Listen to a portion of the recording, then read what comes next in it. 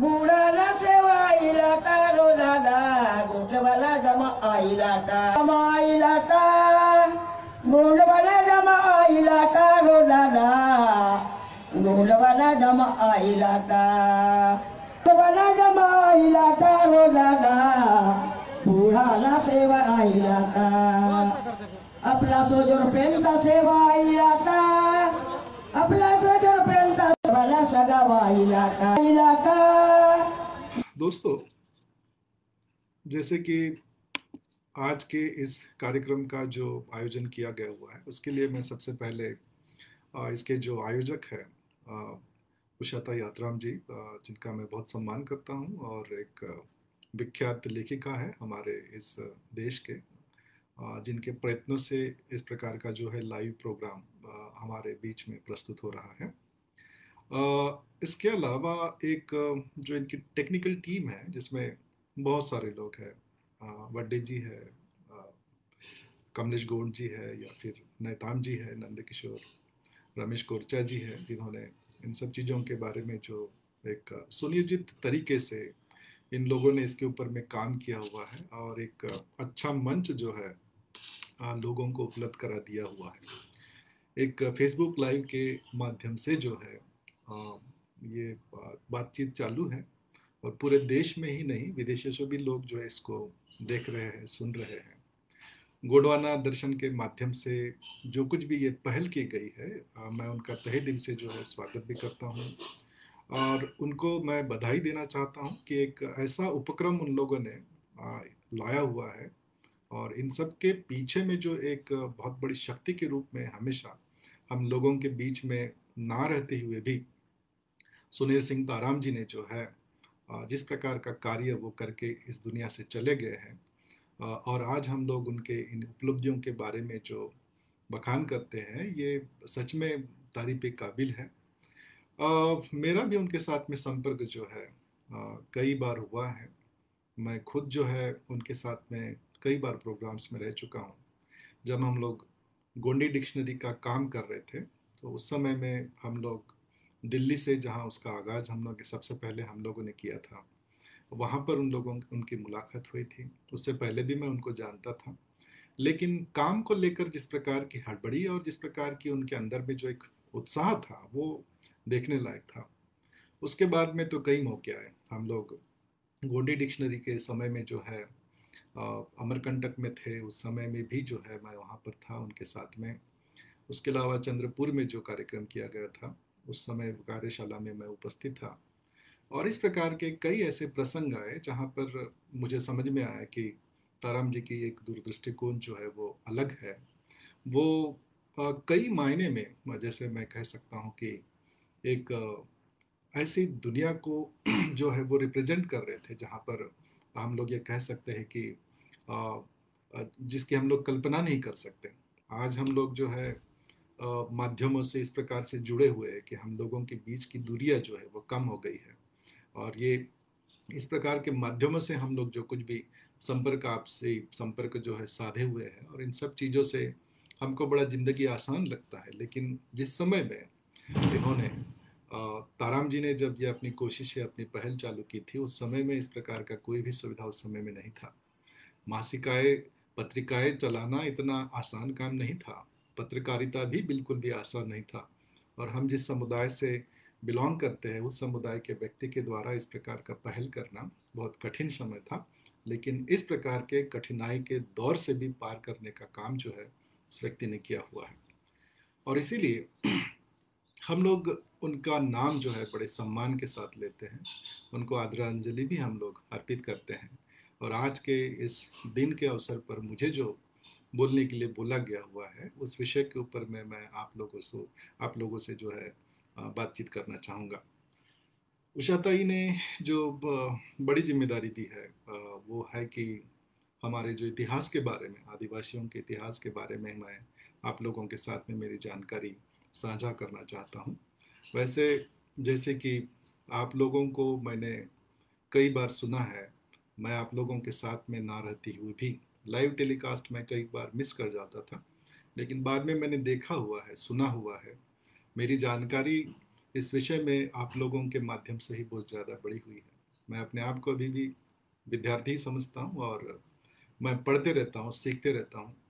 इसीलिए जिस क्षेत्र के बारे में आज मैं आप लोगों के समक्ष बातचीत करने वाला हूँ, मैं आपको यही बता दूँ कि मेरी उस क्षेत्र में अभी भी जानकारी बहुत कम है।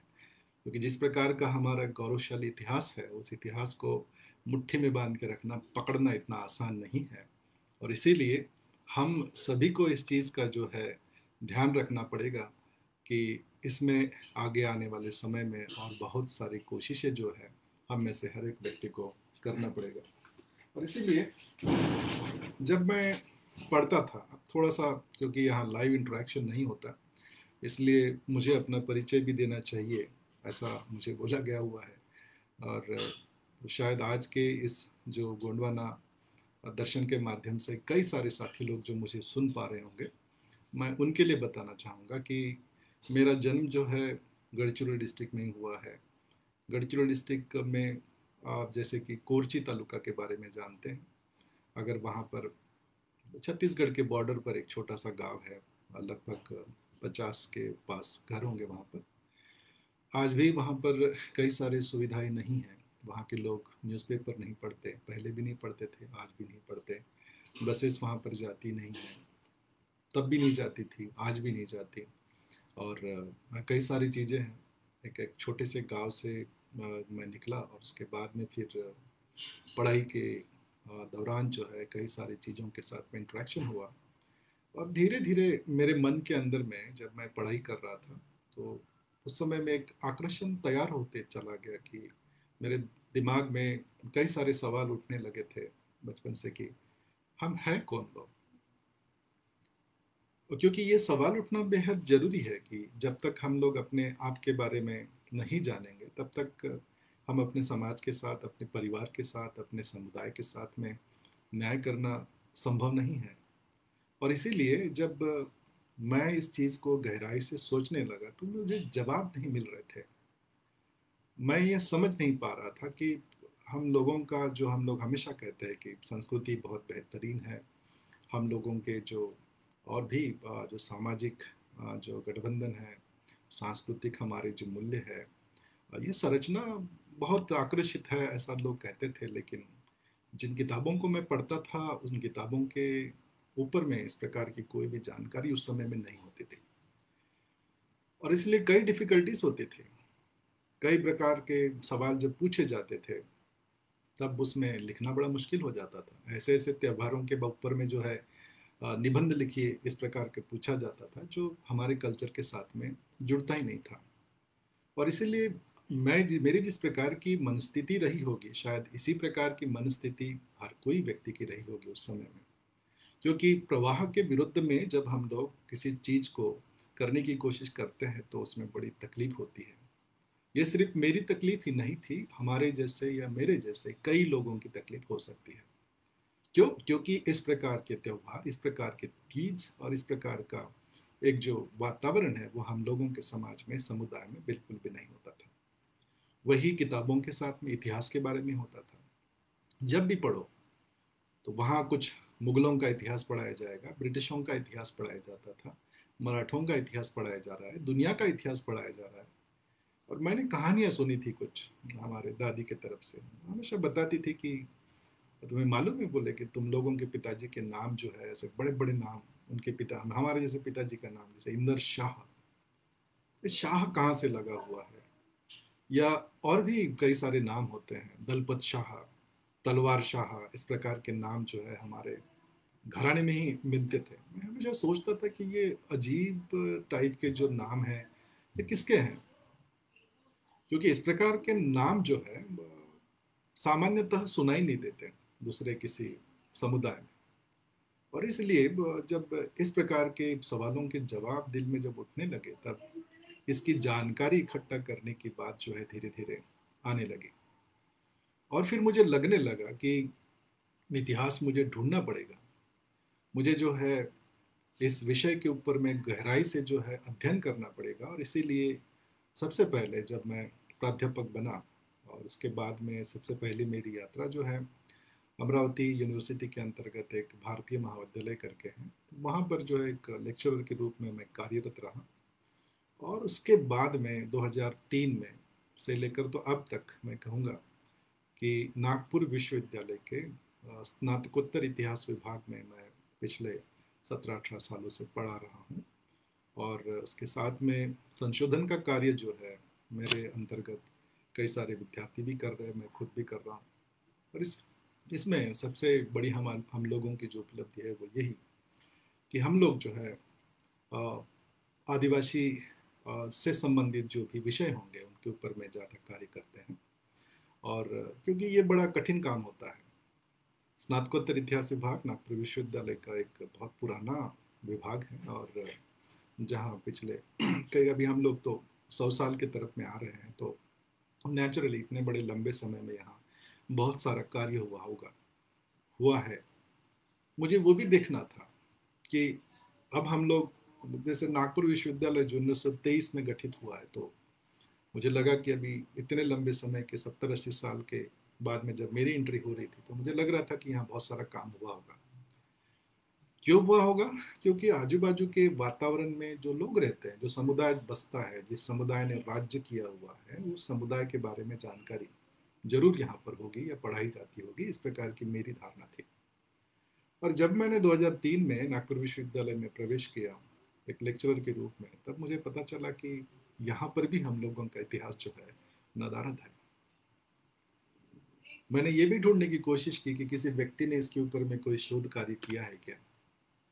किसी भी व्यक्ति ने इस प्रकार का शोध कार्य जो है, आदिवासी समुदाय के ऊपर में तब तक नहीं किया हुआ था।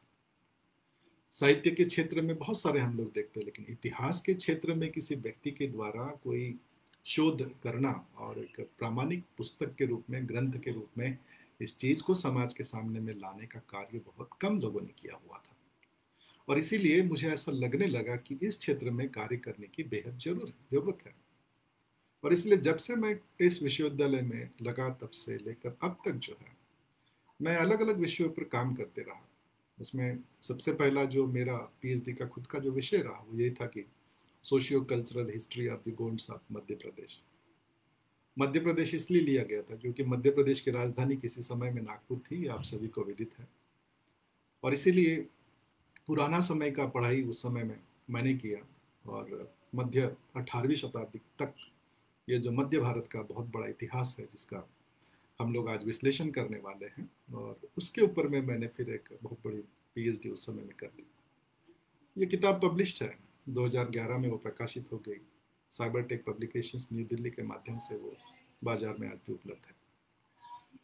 उसके बाद में मुझे लगा कि नहीं, ये तो एक राजनीतिक इतिहास की जो है, मैंने स्टडी की थी। राजनीतिक इतिहास का मतलब होता है कि राजाओं का, महाराजाओं का, उनका इतिहास। मध्य भारत में ऐसे चार राज्यों के बारे में आप लोग अच्छी तरह से वाकिफ है।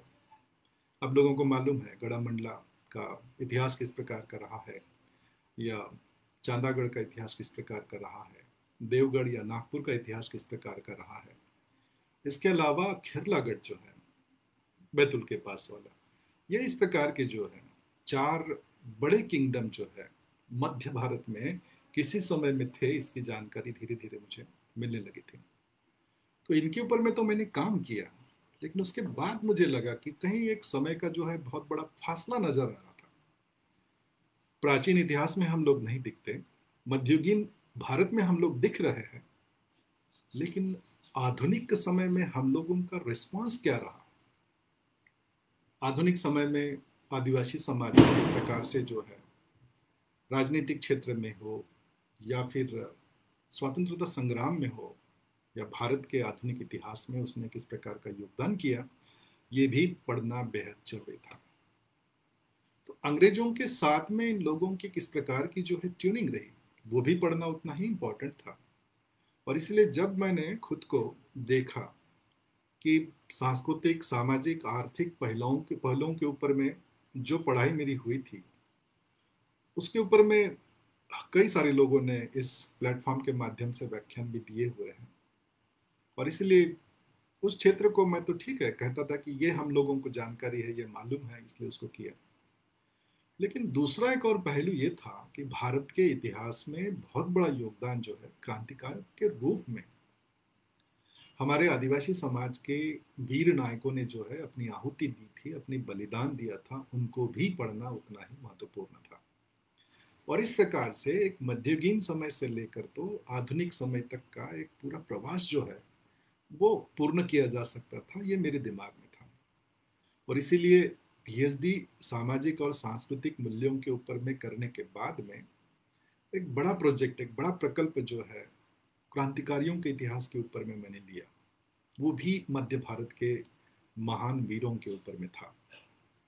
और तब मुझे पता चला कि हमारे जितने भी जननायक हैं, इनका बहुत बड़ा योगदान है, लेकिन इतिहास में हम लोग उनको कम ही पाते हैं, क्योंकि उनके ऊपर में लिखा नहीं जाता। फिर मुझे ये भी समझ में आया कि इसके ऊपर में लिखा क्यों नहीं गया? क्यों लिखा नहीं गया? उसके पीछे में ये कारण भी था कि जिस प्रकार के लोग सत्ताधीश है, वो लोग अपना इतिहास लिखते हैं। उन लोगों को नहीं लिखते जो पराजित हुए हैं। इतिहास जो है, हमेशा विजेताओं का लिखा जाता है, पराजितों का नहीं। कहने का मतलब ये नहीं कि हम लोग हर बार पराजित हुए, नहीं। सत्ताधीशों ने अपने इतिहास के बारे में बड़े ही बारीकियों के साथ में लिखा, लेकिन हम लोगों के बारे में बहुत कम जानकारी उन्होंने उस समय में दिया। और इसीलिए उस क्षेत्र में भी जो है काम करने की ज़रूरत थी, ये मेरे ध्यान में आने लगा। और इस प्रकार से जब ये फासला जो है, इतिहास का, जो हम में से हर एक व्यक्ति को जानना चाहिए, जैसे कि बाबा साहब अंबेडकर हमेशा कहते हैं कि जो इतिहास जो है, जो समाज भूल जाता है, उस समाज को अपना खुद का अस्तित्व जो है वो खो बैठता है। तो ऐसा हम लोगों के साथ में नहीं होना चाहिए, क्योंकि हम लोग जो है, आज भी गोल गोल घूमते हैं। हम लोग अपने ही अस्तित्व में फंस गए हैं। आज जितने भी लेक्चर्स यहाँ पर हुए हैं, मैं टिका टिप्पणी नहीं करना चाहता, लेकिन ये वो चीज़ें हैं जो हमारे आजू बाजू के वातावरण से हम लोग देख के सीखते हैं। ये इस प्रकार के जो है गुणवत्तापूर्ण जो है बातें हैं जिनकी हम लोग जो है हमारे समाज का हर बुज़ुर्ग जानता है। जानता कौन नहीं है? जानता वो नहीं है जो थोड़ा पढ़ लिखा पढ़ा लिखा हुआ है, जो गाँव में नहीं बसता, जो शहरों में रहता है, जो अपने समाज से दूरी बना के बैठा हुआ है। वो भूल चुका है कि उसके गाँव में, उसके समाज के, उसके परिवारों में किस प्रकार का जो है जो है वातावरण है, किस प्रकार की दुनिया जो है, वो होती है गाँव में और आदिवासी समाज जो है किस प्रकार का है, इस बारे में जानकारी उन लोगों को नहीं है जो समाज से परे चले गए हुए और इसीलिए ये बहुत बड़ी ज़िम्मेदारी है कि पढ़ा लिखा वर्ग जो है, जो समाज से दूर है, संस्कृति से दूर जा रहा है, उसको पलट कर वापस जाने की ज़रूरत है। क्योंकि मेरा मानना है कि सामान्य जनता या सामान्य लोग जो है, वो समाज को नहीं बिगाड़ते। वो तो उसको जीते हैं, बड़े मज़े के साथ में। और इसीलिए उनको हम लोग जो है, दोष देना, टिप्पणी देना ये ठीक नहीं है। तो फिर इसको बिगाड़ने की ज़िम्मेदारी किसकी है? ये ज़िम्मेदारी जो है, हमारे जैसे पढ़े लिखों के ऊपर नहीं आती है। क्योंकि शायद हम लोगों के ही नेतृत्व में कहीं कमियाँ आ गई, जो हम लोग उनको फिर से जो है दोहरा नहीं पाए।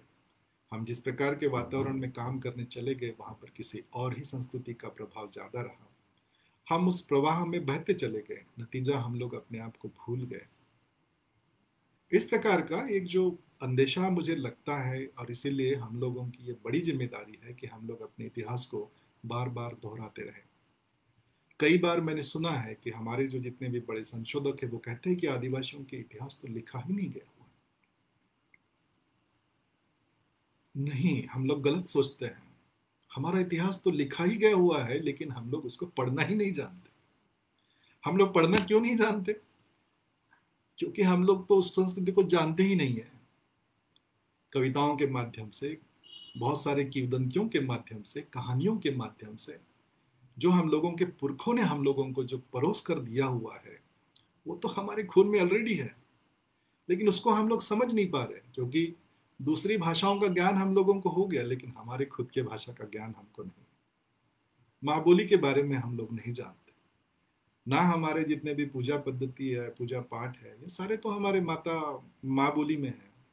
माँ बोली किसको कहते हैं? माँ बोली वो बोली है, जिसने, जिस माँ ने हम लोगों को दूध पिलाया। जिस माँ ने हमारी रक्षा की बचपन से, उसने जो हमको सिखाया, जो बोल सिखाए वो माँ बोली होती है। उस माँ बोली को ही हम भूल गए तो हमको वो पढ़ना कहाँ से आएगा? आज यही हो रहा है कि हम अपने आप को भूलते क्यों जा रहे क्योंकि हम लोग अपने माँ को भूल चुके हैं, मातृभूमि को भूल चुके हैं, हमारी माँ बोली को भूल चुके हैं और इसके कारण ही हमको, हमारा ही इतिहास जो है समझ में नहीं आ रहा है। हमारे पुरखे पढ़े लिखे नहीं थे, लेकिन जाहिल भी नहीं थे, समझदार थे, दुनिया की उनको समझ थी। और इसीलिए उन लोगों ने जो है हमारे राजाओं के नाम बार बार हमारे जैसे लोगों को देते चले गए हुए। जितने भी है, दलपति शाह है, हृदय शाह है, इंदल शाह है या नीलकंठ शाह है, ऐसे कितने भी नाम आप लोग लो, ये सारे नाम वहाँ हमको मिलते हैं। जहाँ गढ़ा मंडला के राजाओं की सूची हम लोग जब देखते हैं, चांदागढ़ के राजाओं की सूची हम जब पढ़ते हैं, देवगढ़ के राजाओं के बारे में जब हम लोग पढ़ते हैं, या फिर खेरला के राजाओं के नाम जब हम पढ़ते हैं, तब हमको समझ में आता है कि ये नाम तो सब वहाँ से आते हैं। हमारे पुरखों के नाम हैं, जिन्होंने गोंडवाना लैंड को जो है सींचा है, जिन्होंने इसको बनाया हुआ है। इस पावन भूमि में जिन लोगों ने अपना पसीना और खून बहाकर जो है, एक बहुत बड़ा साम्राज्य खड़ा किया था, उन व्यक्तियों के बारे में हम लोगों को समाज में आज भी अलग अलग रूप से वो जानकारी प्रचलित है, लेकिन हम लोग उसको पिकअप नहीं कर पा रहे हैं। और दूसरे लोग जो है, इन सारी चीज़ों को, दुनिया के पता नहीं कौन से कौन से जगह से लोग आ जाते हैं और वो लोग ढूंढ रहे हैं कि आदिवासी समाज में ऐसी क्या खासियत है। वो लोग घने जंगलों में चले जाते हैं। वो भाषा सीखते हैं हम लोगों को समझने के लिए और हम लोगों के बारे में पढ़ते हैं, हमारी संस्कृति के बारे में पढ़ते हैं, हमारे जीने के तरीके के बारे में पढ़ रहे हैं, वो हमारे औषधियों के बारे में पढ़ने की कोशिश कर रहे हैं। वो हमारे सामाजिक संगठन के बारे में पढ़ने की कोशिश कर रहे हैं, वो हमारे जीवन मूल्यों की कॉपी करना चाहते हैं। ये सारी चीज़ें हमको तब समझ में आएगी जब हम लोग फिर से पलट कर समाज के तरफ़ में जाएँगे और हमको जो कुछ भी जानकारी है वो हम लोग समाज के साथ में साझा करेंगे। लेकिन मेरा एक और ऑब्जर्वेशन है, विषय को शुरू करने से पहले ये बहुत इंपॉर्टेंट है कि मैं इस चीज़ को बोलूँ आप लोगों के सामने में, और वो ये कि हमें अपडेट करने की ज़रूरत है। समय के साथ में पूरी दुनिया बदल गई है। हमको भी जो है, हमारे आचार, विचार से लेकर तो जीने के तरीकों में को भी जो है, बहुत बड़ा बदलाव करने की ज़रूरत है। आज अगर हम लोग मानवीय विकास की श्रृंखला की बात करते हैं तो आपको खुद ही पता चल जाएगा कि उस विकास श्रृंखला में हम कौन से पायदान पर है। विकास की श्रृंखला में सबसे पहले जो शिकार की अवस्था आती है या संग्रहण की अवस्था जब आती है दूसरा एक और परिस्थिति अवस्था जिसको हम लोग जो है कृषि कहते हैं। पहला शिकार और संग्रहण हो गया दूसरा कृषि व्यवसाय हो गया दूसरा उसके बाद में सामंती व्यवस्था है। उसके बाद में उद्योग धंधों का या फिर वो आ, क्या बोलेंगे उसको औद्योगिकरण का समय आता है। औद्योगिकरण से पहले भी जो है राजा महाराजाओं का बहुत बड़ा काल आया हुआ था। उसके बाद में मशीन आए औद्योगिकरण हुआ। उसके बाद में जो है उत्तर आधुनिकवाद आया।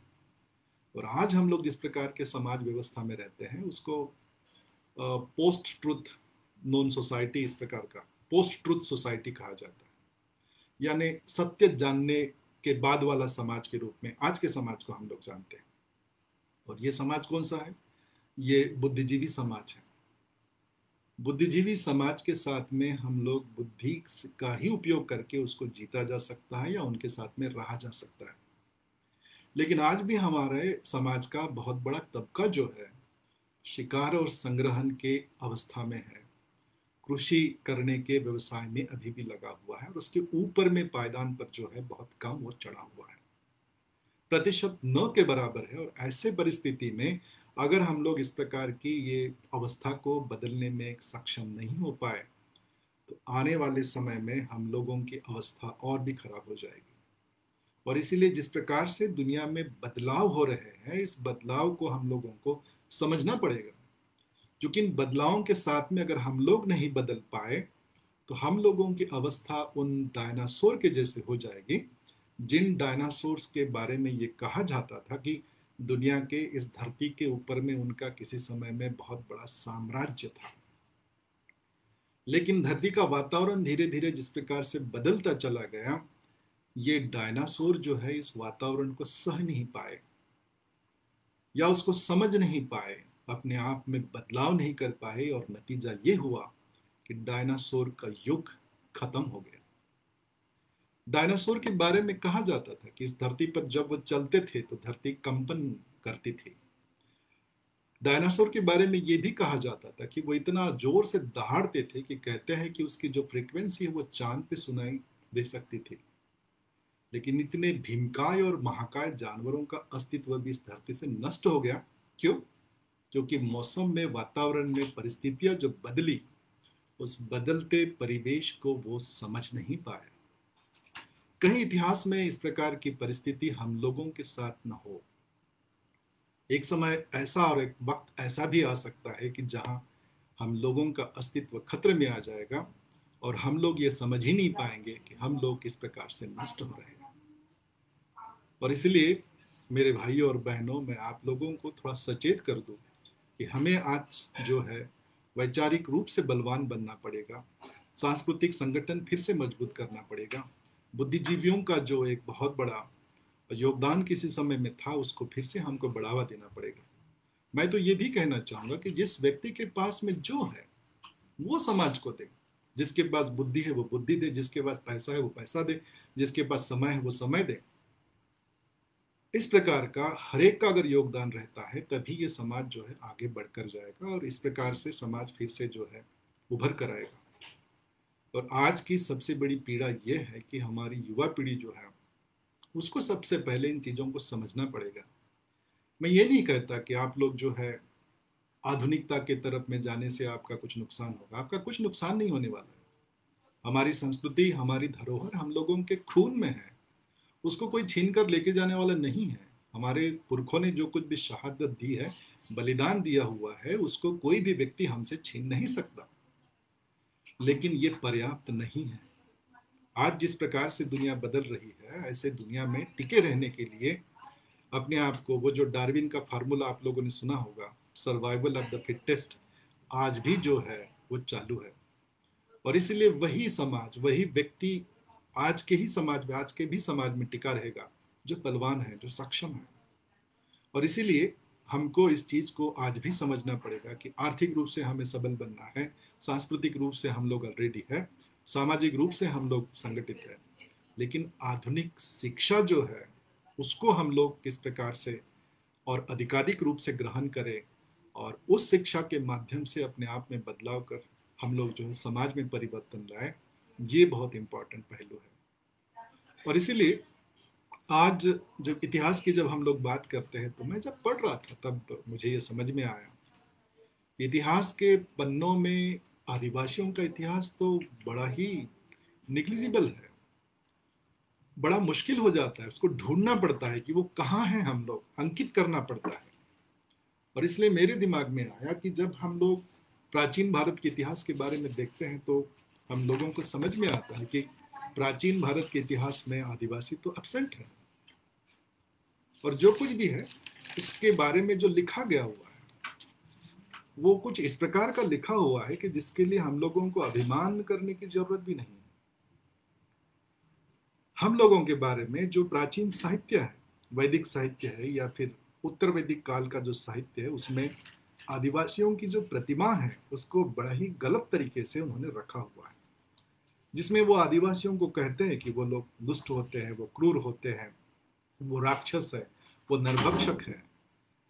इस प्रकार की हीन भाषा का प्रयोग कर कर जो है, इस समाज का पूरा जो कॉन्फिडेंस है, वो बुरी तरह से नीचा करके दिखाया गया हुआ है।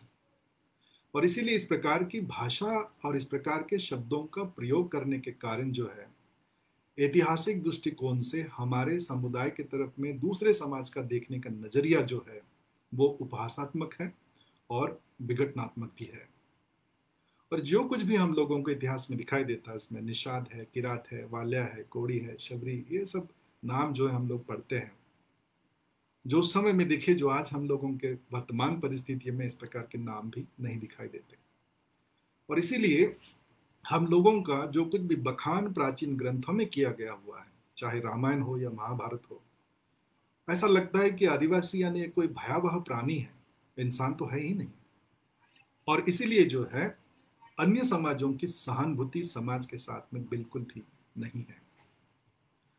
मध्ययुगीन इतिहास में हम लोग समकालीन रहे हैं, उन सत्ताधीशों के, जिन्होंने पूरे भारत के ऊपर में वर्चस्व प्रस्थापित नहीं किया, वरन पूरे भारत के ऊपर में राज किया। सुल्तान शाही का कालखंड रहा हुआ है यहाँ पर 1206 से आगे तक। उसके आगे मुगलों की एक बहुत बड़ी सत्ता रही है, उनके समकालीन हम लोग रहे सुल्तानों के और मुगलों का जो पीरियड है 1206 से लेकर तो अगर हम लोग बात करते हैं कि 1707 औरंगज़ेब अगर हम लोग उसकी मृत्यु तक भी पकड़ते हैं तो भी इन लोगों के समकालीन रहे राजाओं को हम लोग इतिहास में क्यों स्थान नहीं दे पा रहे हैं, सोचने वाली बात है। मराठों के भी समकालीन हम लोग रहे अंग्रेज़ों की भी समकालीन हम लोग रहे। उपस्थिति थी। ओहदा बदल गया था। पद बदल गया था। उनकी जो अस्मिता है वो बदल गई थी। लेकिन ऐसा हमेशा नहीं था। ऐसा हमेशा नहीं था। और इसलिए गोंडवाना की जो एक गौरव गाथा है वो बहुत बड़ी है। इसीलिए आज मुझे ऐसा लगा कि उस गाथा को हम लोग फिर से जो है याद करें। ऐसा क्या हुआ था और ऐसा क्या रह गया है याद करने के लिए आज कि जिसको हम लोगों को फिर से जो है दोहराने की ज़रूरत पड़ी है? और इसलिए जब मैं ये कहता हूँ कि मध्य भारत में हम लोगों की एक समृद्ध जो है इतिहास रहा हुआ है तो उसमें चार जो है बड़े किंगडम्स और बड़े साम्राज्य की बात हम लोग करते हैं। हम लोग एक एक देखेंगे। इसमें सबसे पहला जो है गड़ा मंडला का राज्य के बारे में जबलपुर के नजीक आप में से हर एक को ये मालूम है। मुझे सुनने वालों में से कई सारे लोग वहाँ पर भी होंगे। उसके आजू बाजू में रहते होंगे, बसे होंगे, देखे होंगे। और वहाँ हम लोगों के आज भी जो है, विरासत के रूप में किले हैं। वहाँ पर बहुत सारी बावड़ियाँ हैं, वहाँ बहुत सारे तालाब आज भी दिखाई देते हैं। हमारे गोंड राजाओं ने, महाराजाओं ने जो वहाँ पर मंदिरों का स्थापन किया हुआ है, एक बेहतरीन स्थापत्य कला का जो नमूना हम लोगों ने पेश किया हुआ है, उसके आज भी सबूत वहाँ पर आज हम लोगों को दिखाई देते हैं। इस प्रकार की जो है संस्कृतियाँ, इस प्रकार की जो है डेवलपमेंट का एक बहुत बड़ा मॉडल उन लोगों ने जो छोड़ के रखा हुआ था, वो आज भी जस के तस है, लेकिन वक्त बदल गया है। राजनीतिक उथल पुथल ने हम लोगों के इतिहास को बुरी तरह से निचोड़ा और इस प्रकार से बदल डाला कि हम राजा से रंग कब बन गए हम लोगों को समझ में ही नहीं आया। आज हम लोग जिस चीज़ के ऊपर में गर्व करते हैं कि हम लोगों के गौरवशाली इतिहास रहा है, वो इसलिए कि समाज से भी ऐसे कई सारे लोग निकले हुए हैं, जिन लोगों ने जो है अपने बलिदान से, अपने शौर्य से हम लोगों के समाज का जो है एक मान, सम्मान जो है बड़ा ऊँचा किया हुआ है। इस प्रकार का एक बहुत बड़ा इतिहास हम लोगों का रहा हुआ है। लेकिन आज की अवस्था किस प्रकार की? आज भी देश का बहुत बड़ा जो एक हिस्सा है वो विपन्नावस्था में है, ये किसी से छिपा नहीं है।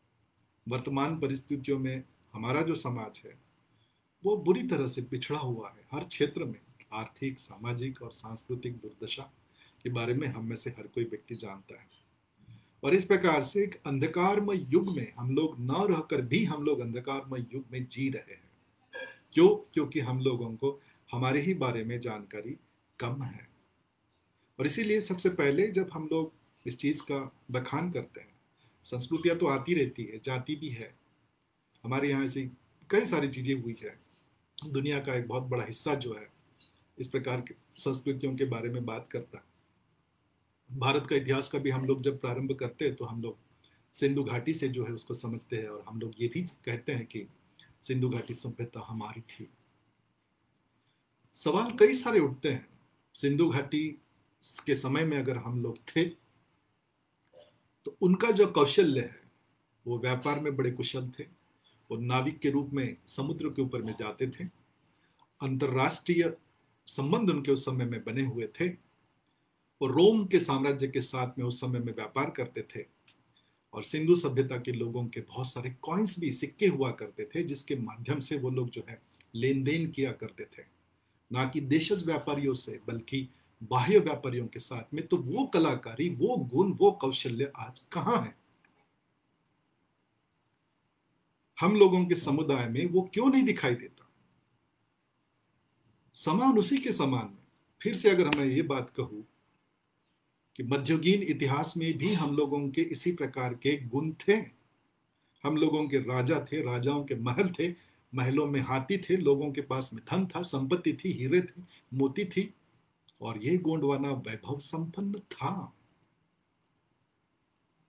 इतिहास में इस प्रकार का उथल पुथल तो मैं समझ सकता हूँ, लेकिन जो जेनेटिक टाइप के जो गुणधर्म हो सकते हैं, जो हमारे पुरखों के पास में थे, वो हमारे साथ हस्तांतरित क्यों नहीं हुए होंगे?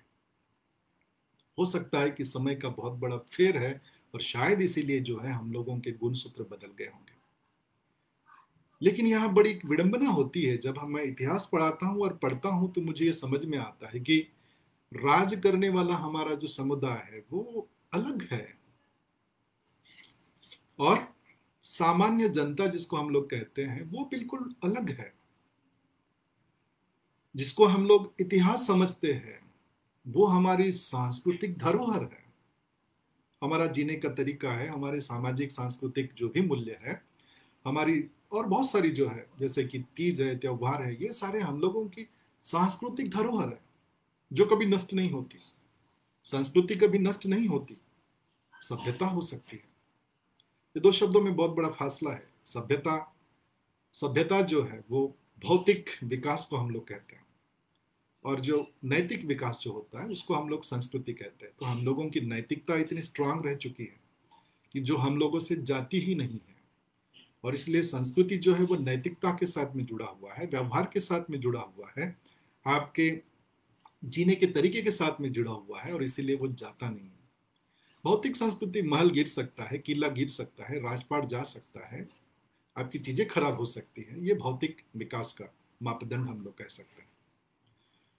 और इसीलिए सभ्यताएँ नष्ट हुई है, चाहे सिंधु घाटी की सभ्यता हो मायान सभ्यता हो, मेसोपोटामिया की सभ्यता हो, बेबीलोन की सभ्यता हो, चाइनीज़ सभ्यता हो, इस प्रकार की जो भी सभ्यता दुनिया में किसी समय में जो गौरवान्वित थी, वो आज हमको नहीं दिखाई देती।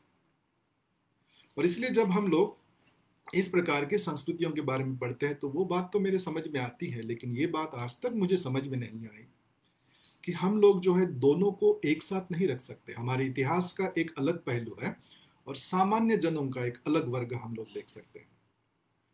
क्योंकि दोनों का जीने का तरीका बिल्कुल अलग है। राज्यकर्ताओं का जीने का तरीका बिल्कुल भी समान नहीं है हमारे अन्य लोगों के साथ में। और इसलिए हम लोग जो कुछ भी लिखते हैं, जो कुछ भी जानते हैं और हम लोग जिस प्रकार की संस्कृति का बखान करते हैं, वो संस्कृति सामान्य जनों की है। लेकिन सत्ताधीशों की, राजगोंडों की अलग ही संस्कृतियाँ हैं। जो हमको समझ में आना बहुत ज़रूरी है। तो क्या हम लोग ये कह सकते हैं कि ये राजगोंडों ने जो कुछ भी नए प्रकार की जो पद्धतियाँ विकसित की, वो हम लोगों से बिल्कुल भी जुड़े नहीं थे? नहीं, हम लोग ऐसा नहीं कह सकते। समय के साथ उन लोगों ने जो बदलाव अपने आप के अंदर में किया, एक सामान्य जन से वो सत्ताधीश बने और इस गोंडवाना के ऊपर में उन लोगों ने कई सालों तक राज्य जो किया और उन्हीं के छाया और छत्र में रहकर हम लोगों ने हमारी संस्कृति विकसित की। अगर वही नहीं होते तो हम लोगों की संस्कृति कहाँ होती? हमारे रक्षक ही नहीं होते तो हम लोगों का अस्तित्व क्या होता? और इसलिए हम लोगों को इस चीज़ को समझना पड़ेगा कि वो चाहे जैसे भी रहे होंगे, लेकिन सामान्य जन उस समय में सुखी था। सामान्य जन उस समय में जो है शांति प्रिय जीवन जी रहा था। उसके पीछे में जो सबसे बड़ी ताकत उस समय में थी, वो हम लोगों के पुरखे जो राजे और महाराजे थे, इसलिए। गोडवाना के बारे में हम लोग जो जैसे पढ़ते हैं कि अंग्रेज़ों ने जो उसको नाम दिया हुआ, उसके भूखंड के बारे में बहुत सारी थेरीज हम लोग पढ़ते हैं।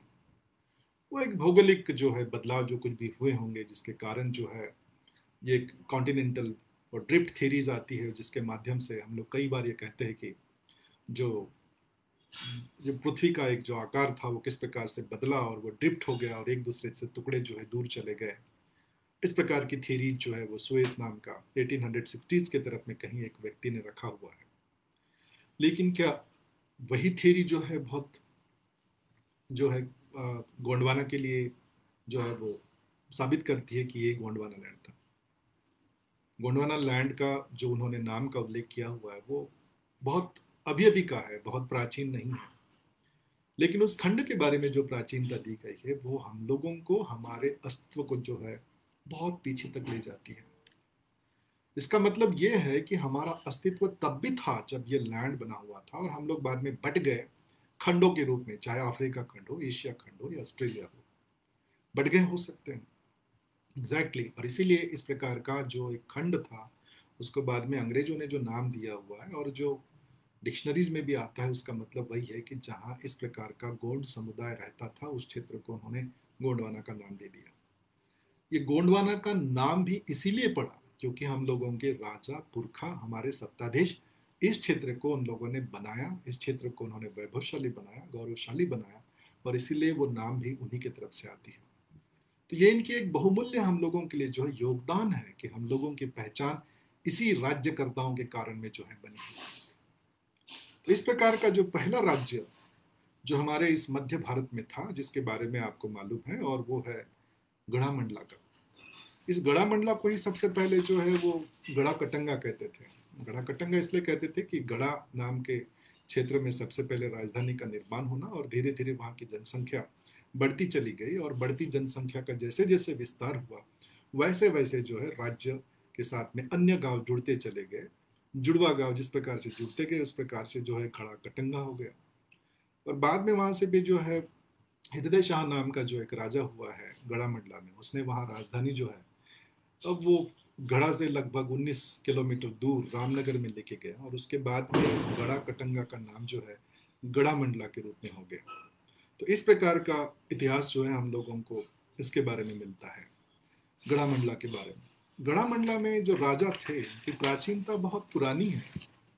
इनकी प्राचीनता इस प्रकार से बताई जाती है कि जो विस्तार है उनका, उसी से हमको समझ में आता है कि गढ़ा मंडला का साम्राज्य कितना बड़ा रहा होगा।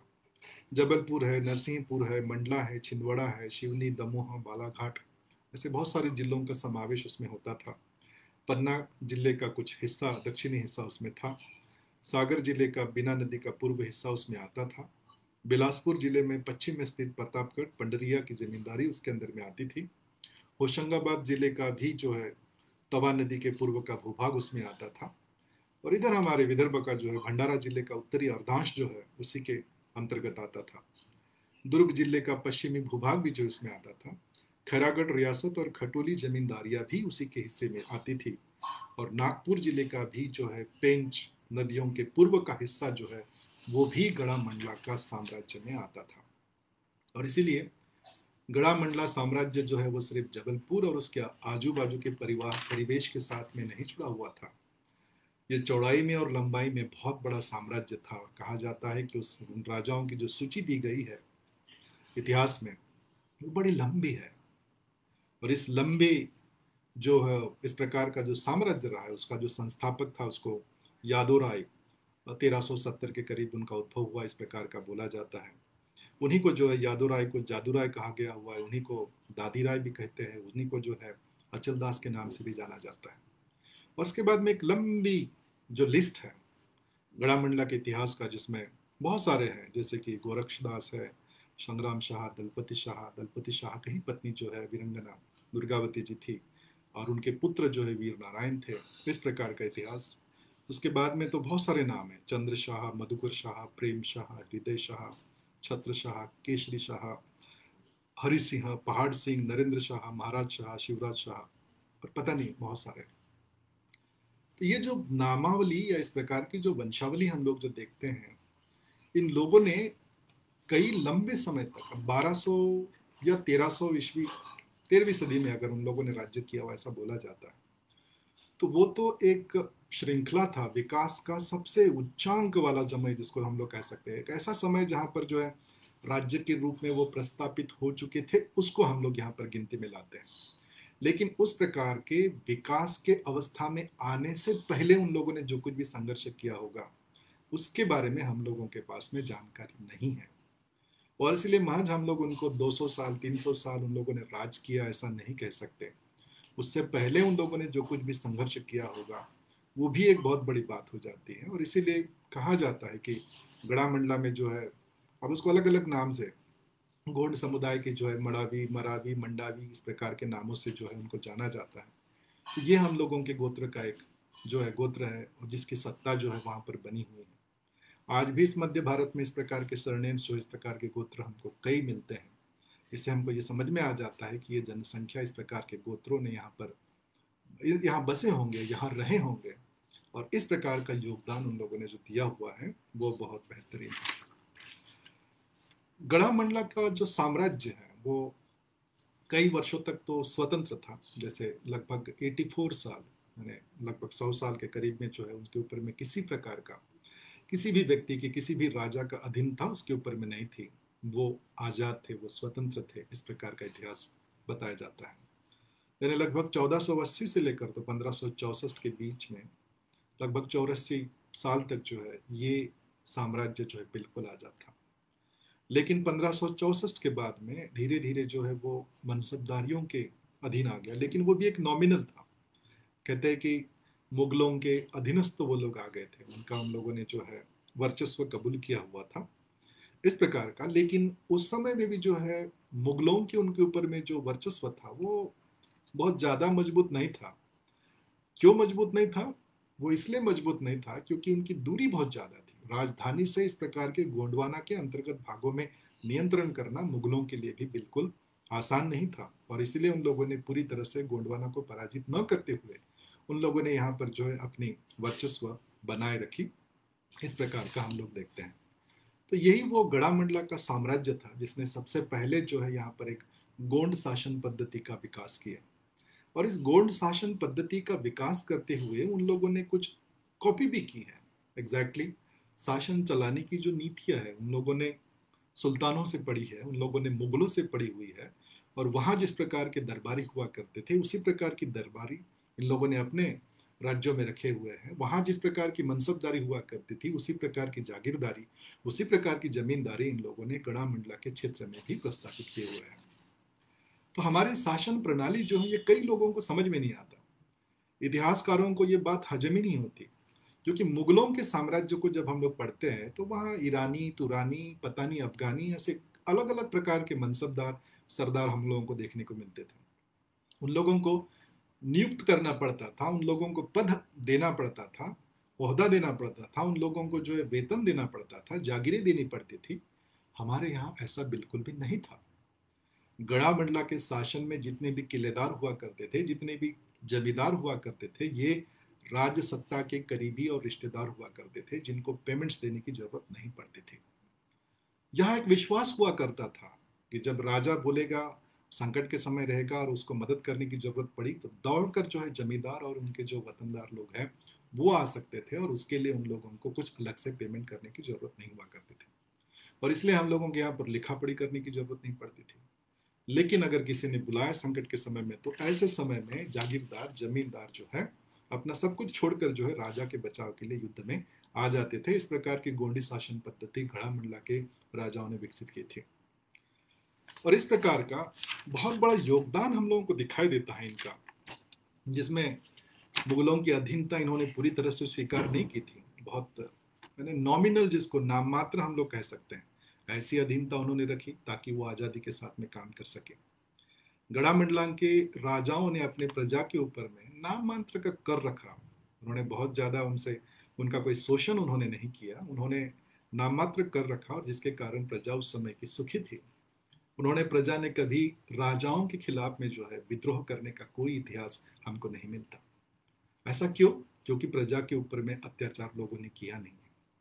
वो सुखी थी और इसीलिए जो है गोंडवाना जो है लोगों के पास में पैसा था, लोगों के पास में धन था, संपन्नता थी और इसीलिए गोंडवाना जो है एक सदन राष्ट्र के रूप में उस समय में खड़ा था। आज तो गोंडवाना को लूटने वाले, खसोटने वाले कई सारे लोग दिखाई देंगे, लेकिन एक वो समय था गोंडवाना में जो गोंड राजा लोग जो राज्य कर रहे थे, उनके समय में सुरक्षित राष्ट्र निर्माण हो चुका था, लोगों का विश्वास अपने राजाओं के ऊपर में था और इसीलिए उस समय की जो प्रजा है, वो अपनी निष्ठा, अपनी जो भी ईमानदारी है, लोगों के, राजा के प्रति दिखाने के लिए, हम लोग जिस प्रकार के शब्दों का आज इस्तेमाल करते हैं, जय सेवा।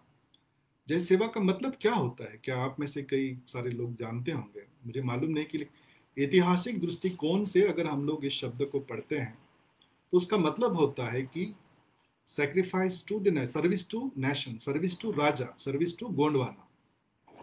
तो उस समय में सेवा किसका करेंगे? राजा की करेंगे, राज्य की करेंगे, समुदाय। लेकिन आजकल हम लोग उसका उपयोग जो है समुदाय की सेवा के रूप में करते हैं, क्योंकि आज हम लोगों के राजपाट नहीं है।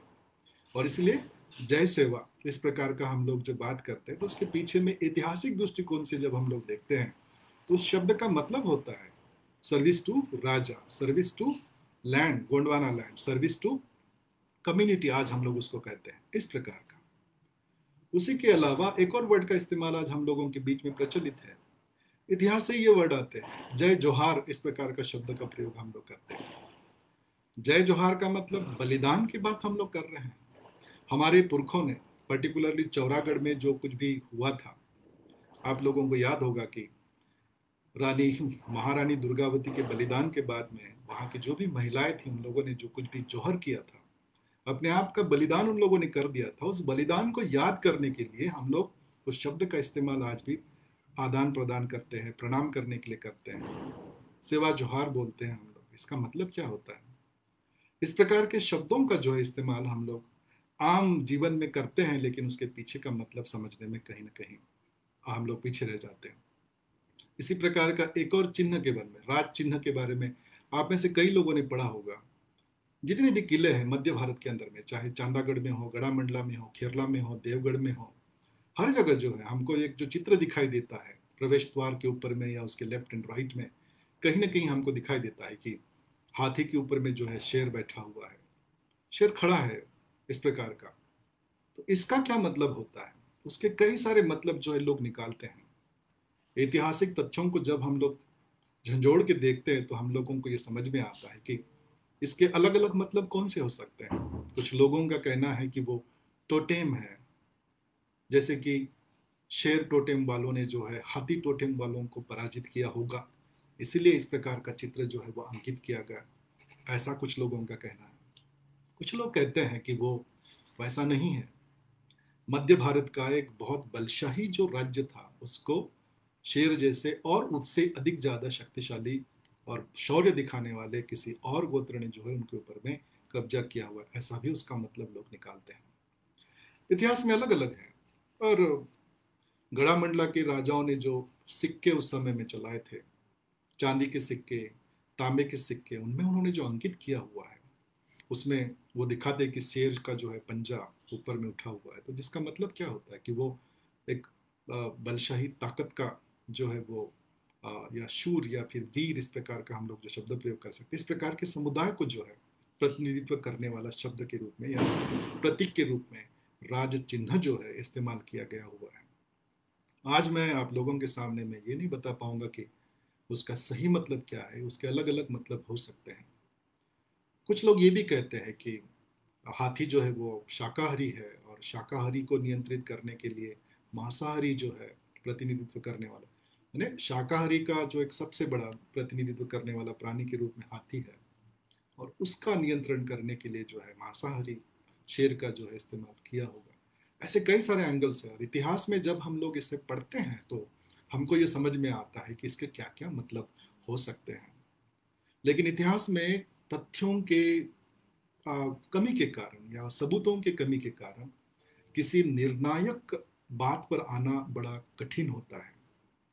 और इसीलिए जब हम लोग ये गढ़ा मंडला का इतिहास जब पढ़ रहे थे तो इसमें उन लोगों की उपलब्धियाँ बहुत सारे हम लोगों को दिखाई देती है। गढ़ा मंडला के राजाओं की एक सबसे बड़ी उपलब्धि ये भी रही है कि इन लोगों का स्थापत्य जो है, ना वो हिंदू है, ना वो मुस्लिम है। एक अलग प्रकार का स्थापत्य कला उन लोगों ने प्रदर्शित किया हुआ है। और इसीलिए गोंड राजवंशों के द्वारा बनाए गए किले जो है ये किसी और से मिलते ही नहीं है। ना वो हिंदू स्थापत्य कला के हिसाब से है, ना मुसलमान स्थापत्य कला के द्वारा है। इसलिए गौण स्थापत्य कला एक अपनी अलग अलग अलग भूमिका जो है, दर्शाते हुए हम लोगों को दिखाई देता है। गोंड राजवंशों ने केवल किले और इसी के माध्यम से, मकबरों के माध्यम से अपनी स्थापत्य कला नहीं दिखाई। आप में से कई लोगों ने देखा होगा कि जिस जिस क्षेत्र में गोंडों के साम्राज्य रहे हैं, वहाँ पर सैकड़ों तालाब आज भी दिखाई, तालाब दिखाई देते हैं, बावड़िया दिखाई देते हैं, कुएँ दिखाई देते हैं, मंदिर दिखाई देते हैं, भवन दिखाई देते हैं और ये चीख चीख कर जो है गोंडवाना के इतिहास को बखान करते हैं। कमी शायद हमारे जैसे ही लोगों में रही है कि हम लोग उनके शैली को समझ नहीं पाए, उनके इस प्रकार के तालाब और बावड़िया खोदने के पीछे में उनका क्या मकसद था, वो हम लोग समझ नहीं पाए और इसलिए सही तरीके से हम लोग उनको लिख नहीं पाए। बावड़िया कुछ इस प्रकार से बनाई जाती थी कि वो सिर्फ़ इंसानों के लिए नहीं होते थे, उनके पास में हाथी थे, घोड़े थे, ये भी जो है जाकर पानी पी सके बावड़ियों में, इस प्रकार की व्यवस्था के कारण जो है, वो एक स्टेप वाइज स्टेप वेल जिसको बोला जाता है, इस प्रकार के स्टेप्स वेल्स उन लोगों ने बनाए हुए थे। इंसानों का ही सिर्फ़ उन लोगों ने विचार नहीं किया हुआ था तो वो जानवरों का भी विचार उन लोगों ने उस समय में रखा हुआ था। तो ऐसे कई सारे जो है उपलब्धियाँ गड़ा मंडला के राजाओं की उस समय में रही है। और गढ़ा मंडलों की सबसे बड़ी जो एक जो धरोहर के रूप में उन लोगों ने हम लोगों को जो दिया हुआ है, वो यही प्रजा की भलाई वो करना जानते थे शांति प्रिय जीवन वो लोग जीना चाहते थे और इसलिए अपने राज्य प्रस्तावित करने के बाद में किसी और के राज्य के ऊपर भी नज़र उठाकर भी वो नहीं देखते थे। और इसलिए हम लोगों के यहाँ पर जो है, गोंडवाना कई वर्षों तक जो एक शांत रहा हुआ है, एक समृद्ध रहा हुआ है और गौरवशाली रहा हुआ है, इसके पीछे में यही कारण हम लोग कह सकते हैं। क्योंकि अगर यहाँ पर जो है अगर हम लोग यहाँ पर आ, उनके जो इस प्रकार के योगदान को अगर याद रखते हैं तो सच में वो हम लोगों के लिए आज भी गौरवशाली है। हाँ लेकिन ये बात ज़रूर है कि जैसे हम लोग कहते हैं कि हमारी जो एक मूल धारा की जो संस्कृति है उससे ये लोग अलग थे। इन लोगों ने मंदिरों का निर्माण करवाया इन लोगों ने वैष्णव समाज का या फिर बौद्ध समाज का या फिर अन्य जो भी जो भी धर्म धर्म उस समय में प्रचलित थे, उन सारे हिंदू धर्म का फॉर एग्ज़ाम्पल इनकी उन्होंने आश्रय दिया इन्होंने रक्षा किया हुआ है। तो यहाँ पर हम लोगों को थोड़ा जो है, ये लगता है कि एक अलग प्रकार के लाइन पर जो है हमारे राजा महाराजा चले गए, लेकिन वो उस समय की ज़रूरत थी। जैसे शिवाजी महाराज का जब तक राज्यभिषेक नहीं हुआ था, तब तक उनको राजा मानने के लिए प्रजा तैयार नहीं थी। और इसलिए उस समय में जो जिस प्रकार की व्यवस्था थी, जिस व्यवस्था की हम लोग बात कर रहे हैं, बारहवीं सदी, तेरहवीं सदी, चौदहवीं सदी, उस समय में तो धर्म ग्रंथों का ही बोलबाला था। उस समय में सामाजिक व्यवस्था जो थी, जिसमें ये कहा जाता था कि ब्राह्मण कौन सा काम करने वाला है? क्षत्रिय क्या करने वाला है? वैश्य क्या करने वाला है? और शूद्र क्या करेगा? तो समाज के ये जो वर्ग है, ये बटे हुए थे और हर एक की ज़िम्मेदारी ठहरी हुई थी। और इसलिए उस समय के जो गड़ा मंडला के राजा हो या देवगढ़ के हो, चांदागढ़ के लोग हो इन लोगों ने अगर मुख्य धारा के तरफ़ में या फिर जिसको तथाकथित मुख्य धारा जो कहा जाता है, उसके तरफ़ में अगर ये आकर्षित हुए होंगे तो वो समय की मांग थी। और इसलिए बाद के समय में भी हम लोग जब देखते हैं तो राजाओं ने जो है अपना धर्म परिवर्तन किया हुआ हमको दिखाई देता है। अभी हम लोग देवगढ़ के इतिहास की तरफ़ में आते हैं, जिसको देवगढ़ का इतिहास को हम लोग जब पढ़ेंगे तो हमको समझ में आ जाएगा कि वहाँ किस प्रकार का धर्म परिवर्तन हुआ है। वहाँ के राजाओं ने तो मुस्लिम धर्म स्वीकार कर लिया था। बख्त बुलंद का नाम आप लोगों ने सुना होगा। उनका बहुत बड़ा योगदान है। नागपुर शहर, जिसको हम लोग आज मध्य भारत का एक बहुत बड़ा विकसित शहर के रूप में जानते हैं, जहाँ मैं बसता हूँ, उस शहर में। उस शहर को जिसने बनाया, वो बख्त बुलंद नाम सुनकर ऐसा नहीं लगता कि वो आदिवासी समुदाय का होगा। उसके बाद में आने वाले बहुत सारे राजा जो है, जिनके नाम चाँद सुल्तान है, बुरहान शाह है, या और भी कुछ अलग नाम है, जो मुस्लिम समुदाय से नाम आते हैं। तो कई बार हम लोगों का जो समाज है, वो भी ये भूल जाता है कि ये वर्ग अलग नहीं है। ये हमारे ही समुदाय के लोग थे, ये हमारा ही समुदाय था और हमारे ही पुरखों ने जो है देवगढ़ बसाया। देवगढ़ से राजधानी बाद में हस्तांतरित होकर जो है नागपुर में आ गए और नागपुर में गद्दी और राज करते थे। इस प्रकार का जो है हम लोग जब बखान इतिहासकार करते हैं तो कई लोगों को ये समझ में नहीं आता। और वहाँ तो मुस्लिमों की सत्ता थी, मुस्लिमों की नहीं थी।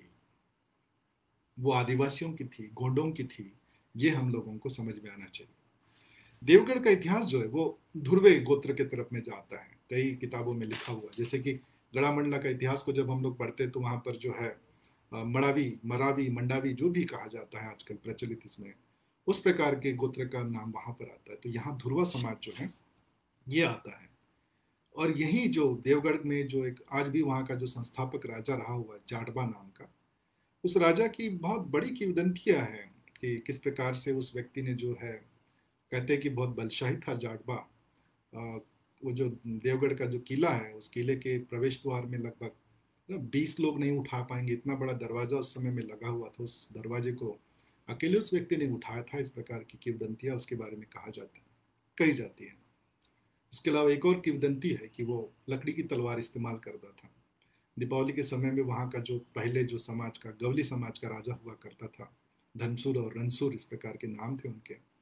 उन राजाओं ने एक बार इसकी परीक्षा लेनी चाहिए और दीपावली के दिन में जो है, जाड़बा को कहा गया कि लकड़ी की तलवार से वो भैंसे का जो है, बलिदान दे। नेचुरली ये बड़ा मुश्किल काम होता है कि लकड़ी की तलवार से कोई भैंसे को मारे। भैंसा एक बहुत शक्तिशाली प्राणी है, आप सभी को इस प्रकार की जानकारी है। और इस प्रकार के जानवर को मारना इतना आसान नहीं है। और इसीलिए लेकिन दूसरे दिन जब वो विधि पूर्ण करना था, उस समय में कहते हैं कि जाटबा ने जो है, लकड़ी के तलवार से भैंसे का सर काट दिया था। और उसी तलवार से उसने गवली राजाओं को भी मार दिया था और उसके बाद में जाटबा खुद जो है, देवगढ़ का सत्ताधीश बना हुआ था। तो इस प्रकार से देवगढ़ का जो इतिहास है, उसके बारे में हम लोगों को जानकारी मिलती है। देवगढ़ में ये जाटबा, उसके बाद में कई सारे नाम आते हैं कोक शाह केशरी शाह, इस प्रकार के। कोक शाह, दीदार शाह इस प्रकार के नाम आते हैं। यहाँ तक तो ठीक है, क्योंकि ये जाडबा, कोक शाह, केसरी शाह इस प्रकार के नाम जो है, जो 1570 से चालू होते तो लगभग 1685 तक उनका धर्म परिवर्तन नहीं हुआ था। लेकिन बख्त बुलंद एक ऐसा राजा हो जाता है, जो 1686 में इस गद्दी पर आता है और उसके बाद में वो समय था मुगलों का मुगलों ने उसके ऊपर दबाव बनाए दबाव कुछ इस प्रकार का था कि अगर वो मुसलमानी सत्ता का अधीनता स्वीकार नहीं करेगा तो वो नष्ट हो जाएगा। और इस प्रकार के जो एक परिस्थिति निर्माण हुई थी, उससे मार्ग निकालने के लिए बख्त बुलंद ने मुसलमानों के धर्म को स्वीकार किया था। लेकिन अपने संस्कृति के बारे में उसने कोई भी जो है कॉम्प्रोमाइज नहीं किया था। उसने कहा था कि रोटी का मैं व्यवहार करूँगा, बेटी का व्यवहार मैं अपने समाज के साथ करूँगा। और इस प्रकार से ये बख्त बुलंद जो है, नागपुर शहर का निर्माता जिसको कहा जाता है, नागपुर राजधानी जिसने उन्होंने स्थलांतरित किया और यहाँ पर वो बस गया, ये बहुत बड़ा राजा किसी समय में हो चुका है। नागपुर एक मध्य इस प्रकार का शहर था, जो उत्तरी और दक्षिण व्यापारी मार्गों को जोड़ने वाला केंद्र था और यहाँ के जितने भी छोटे छोटे गाँव थे बारह बार से बोला जाता था उनको, इन गाँवों को जोड़कर जो है एक अच्छे नगर के रूप में उसका विकास करने का एक बहुत बड़ा कौशल इस व्यक्ति ने दिखाया हुआ तो हम लोगों को ये बड़ा जानकर बड़ा अंदेशा ही नहीं हो पाता कि एक समुदाय जो जंगलों में रहता है, जंगली संस्कृति का हम लोग बखान करते हैं, वो संस्कृति इतने बड़े नगरों को कैसे बसा सकती है? लेकिन इस प्रकार के चरित्र जब हम लोग पढ़ते हैं, तब हमको पूरा विश्वास हो जाता है कि आदिवासी समाज के नेतृत्व में इस प्रकार की कोई जो है कमी नहीं थी। ना उनके किसी गुणसूत्र में कोई कमी थी, ना उनके किसी नेतृत्व शक्ति में कमी थी। कमी आज हम लोगों के पास में अगर कोई चीज़ है तो वो हम लोगों का विजन है, दूरदृष्टिकोण है, जो हम लोग भविष्य को नाप नहीं पा रहे, समझ नहीं पा रहे हैं और उसके हिसाब से अपनी गतिविधियों को हम लोग आकार नहीं दे पा रहे हैं। और इसलिए भाई और बहनों, जब हम लोग इस प्रकार के हमारे राजाओं का बखान पढ़ते हैं तो हम लोगों को विश्वास नहीं होता। और ये बहुत बड़ा भूतकाल नहीं है। ये वो भूतकाल है जिसको हम लोगों के पुरखे लोग जानते थे। बख्तु बुलंद के बाद में चाँद सुल्तान आता है। चाँद सुल्तान के साथ में वली शाह आता है। वली शाह के साथ में बुरहान शाह, अकबर शाह, इस प्रकार के राजाओं ने नागपुर से जो है मध्य भारत का संचालन किया हुआ है। इनका योगदान भी बहुत बड़ा है। इनका राज्य का, राज्य की सीमाएँ जो है वो भी बहुत बड़ी है। जैसे कि वैनगंगा नदी, है ना? जाडबा के शासन काल में थोड़ा कम था, लेकिन उसके बाद के शासक लोगों ने जो है नागपुर है, शिवनी है, भंडारा है, बालाघाट के ज़िले हैं, यहाँ तक जो है इसका जो है फैलाव उस समय में हुआ था। छिंदवाड़ा और बैतूल ज़िले भी उसमें शामिल थे, ऐसा हमको दिखाई देता है। तो ये देवगढ़ महज जो है, एक गौण सत्ताधीश था, कुछ समय के लिए रहा होगा, ऐसा नहीं है। लगभग दो ढाई सौ साल का इतिहास इन लोगों के साथ में भी है। तीन सौ साल का, साढ़े तीन सौ साल का इतिहास जो है गढ़ा मंडला के साथ में है। और इसी प्रकार का इनकी अगर कुछ उपलब्धियाँ अगर हम लोग बात करते कि देवगढ़ के राजाओं ने जो है, या नागपुर के राजाओं ने गोंड राजाओं ने किस प्रकार की उपलब्धियाँ दी है? उसके बारे में सबसे पहला अगर कोई उपलब्धि मैं बताना चाहूँगा तो मैं बताऊँगा कि नागपुर नगर का निर्माण करने का श्रेय अगर किसी व्यक्ति को या किसी समाज को जाता है तो वो गोंड समुदाय को जाता है। इन्हीं राजाओं ने तांबे और सोने के सिक्के, सोने के तो नहीं, लेकिन तांबे और चांदी के सिक्के इन लोगों ने चलाए हुए उसमें से एक सिक्का मेरे पास में भी है, जो तांबे की है और वो जाटबा की है। क्योंकि तो इतिहासकारों को, हम लोगों को पढ़ना पड़ता है। वो ब्रिटिश म्यूज़ियम लाइब्रेरी लंदन से मंगाई हुई चीज़ है, जो मेरे पास मैंने सुरक्षित रखा हुआ है। मुझे बड़ा फक्र होता है कि हमारे वंशजों का, हमारे पुरखों का कोई चिन्ह जो है, उसका एक संग्रह मैं अपने पास में एक ही सही, लेकिन मैं रखने में सक्षम हूँ। उसी प्रकार से देवगढ़ के राजाओं ने जो किले बनवाए थे, चाहे वो देवगढ़ का किला हो, नागपुर का किला हो, वहाँ पर सैकड़ों इन लोगों ने जो है बावड़िया और कुओं का निर्माण किया हुआ है। इस प्रकार का एक वीडियो बीच में वायरल हुआ था और जो फेसबुक में और वो व्हाट्सएप में बहुत भारी मात्रा में सर्कुलेट भी हुआ है कि किस प्रकार के कुओं का जो है पता चल रहा है, जो किसी समय में हुआ है। आज भी इस क्षेत्र में, देवगढ़ और इधर में आप लोग देखो, चंद्रपुर, भंडारा, वर्धा, इधर में बहुत सारे तालाब और कुएँ हमको दिखाई देते हैं। हम लोगों के आजू बाजू में जो है कई बार बोला जाता है कि ये क्या है, मामा तालाब है। मामा तालाब का मतलब क्या होता है? मामा तालाब का मतलब काका मामा, ऐसा उसका कोई रिश्तेदारों के साथ में कोई जुड़ाव नहीं है। माजी, मालगुजारी, ऐसा होता है। और हम लोगों के ही लोग जो समय में जमींदार थे, मालगुजार थे, और इन्हीं लोगों ने जो है बनाया हुआ तालाब है, जिसको हम लोग आज भी मामा तालाब के रूप में जानते हैं। भंडारा ज़िले में, गढ़चिरौली ज़िले में, चांदा ज़िले में आज भी कई इस प्रकार के तालाब और इस क्षेत्र को तो तालाबों का ही जो है क्षेत्र के रूप में जाना जाता है, जैसे कि आप लोगों को जानकारी होगी। तो ये तालाब और ये इस प्रकार के कुएँ, इस प्रकार की बावड़िया किन्होंने बनाया हुआ इन्हीं लोगों ने बनाया हुआ है। हमारे लोगों ने बनाया हुआ है। इस चीज़ का हम लोगों को फक्र होना चाहिए। हमारे ही समाज के इन लोगों ने जो है, हिंदू और मुस्लिम समुदाय का या धर्म का या संस्कृति का संगम कराया हुआ है। इन लोगों ने किसी के साथ में भेद नहीं किया हुआ है। इन लोगों ने उनके साथ में दुश्मनी नहीं की है। वरन उस संस्कृति को भी इन लोगों ने अपना कर जो है, उनके साथ में एक बहुत अच्छा तालमेल बिठा कर रखा, जिसके कारण हमारी प्रजा उस समय में सुरक्षित रही है। हम लोग उनके तरफ़ में नकारात्मक दृष्टिकोण से ना देखें। सकारात्मक दृष्टिकोण से देखना यह बेहद ज़रूरी है, क्योंकि किसी राजा के अस्तित्व की बात यहाँ पर नहीं हो रही है। राजा के साथ साथ उसकी प्रजा सुखी होनी चाहिए और शांतिप्रिय जीवन उसने जीना चाहिए, ये मकसद उन लोगों का था और जनता को उन लोगों ने जो है सुरक्षित रखने के लिए इस प्रकार के समझौते समय के साथ साथ उन लोगों ने किया हुआ है, ये हमें भूलना नहीं चाहिए। इसी प्रकार का कई बार जो है, ये भोसले उनका राज्य जो ये बाद में आया हुआ है नागपुर में जो हम लोग बड़े, बहुत बड़े पैमाने पर पढ़ते हैं, क्योंकि उसको लिखने वाले इतिहासकार जो है, ये बहुत पहले रह चुके हैं। उसके बारीकियों के बारे में उन लोगों ने लिखा हुआ है। और भोसलों को भी जब संकट उनके ऊपर में आता था, और इन लोगों को आश्रय देने का काम भी जो है, देवगढ़ के राजाओं ने किया हुआ है। क्योंकि देवगढ़ के राजा तो सतपुड़ा के जंगल में रहा करते थे। उनका देवगढ़ जो है, वो खुद सतपुड़ा में है। और ऐसे समय में वहाँ पर भयानक ये जो अरण्य होते थे जंगल हुआ करता था वो सुरक्षित जगह समझा जाता था और इसलिए भोसले भी जब अंग्रेज़ों से परेशान हो जाते थे तो वो गोंड राजवंशों के पास में आश्रय के लिए चले जाते थे। और उसके ऊपर में भी आपको मैं ये बात बता दूँ कि देवगढ़ का राज्य या फिर नागपुर का राज्य जो भोसलों को दिया गया हुआ है वो भोसलों के साथ में या, या भोसलों ने आक्रमण करके गोंड राजवंश जीता नहीं है। या हम लोगों के साथ में उन्होंने कोई युद्ध नहीं किया हुआ है। वो तो अपने बेटों के झगड़ों के कारण रानी रतन कुंवर जी जो है वो परेशान थी, देवगढ़ की या नागपुर की रानी, गोंड रानी। और उसने इन दो भाइयों के बीच का जो झगड़ा है, उसको सुलझाने के लिए भोसलों की मदद ली। और इस प्रकार से रघुजी भोसले को जो है, उन्होंने तीसरा पुत्र माना झगड़ा मिटने के बाद में और उनको दान में, उनको एक हिस्से के रूप में, अपने बेटे के रूप में उनको एक हिस्सा दिया। और जिसके कारण जो है, नागपुर नगर हम लोगों के हाथ से निकल गया और वो भोसलों के राज्य यानी क्या बोले सत्ताधीश के रूप में वो यहाँ के जाने जाने लगे। तो इस प्रकार से हम लोग जो है देवगढ़ के बारे में जानकारी रखते हैं और इस प्रकार की जानकारी उसके बारे में दी जा सकती है। अब हम लोग आते हैं हमारे तीसरे राजवंश के तरफ़ में। ये बहुत ही बृहत इस प्रकार का इतिहास रहा है। चांदागढ़ के राजवंश का इतिहास। दुनिया में मैंने बहुत सारे इतिहास पढ़े हैं। मैं भारत का इतिहास पढ़ चुका हूँ, लेकिन कहीं पर भी मैंने ऐसा नहीं पढ़ा। कि कोई राजवंश ने जो है लगभग 900 साल तक राज किया हो किसी क्षेत्र में बिना ब्रेक के। लेकिन चांदागढ़ का इतिहास बताता है हम लोगों की, हम लोगों के साम्राज्य इस क्षेत्र में जो है लगभग 900 साल तक रही है।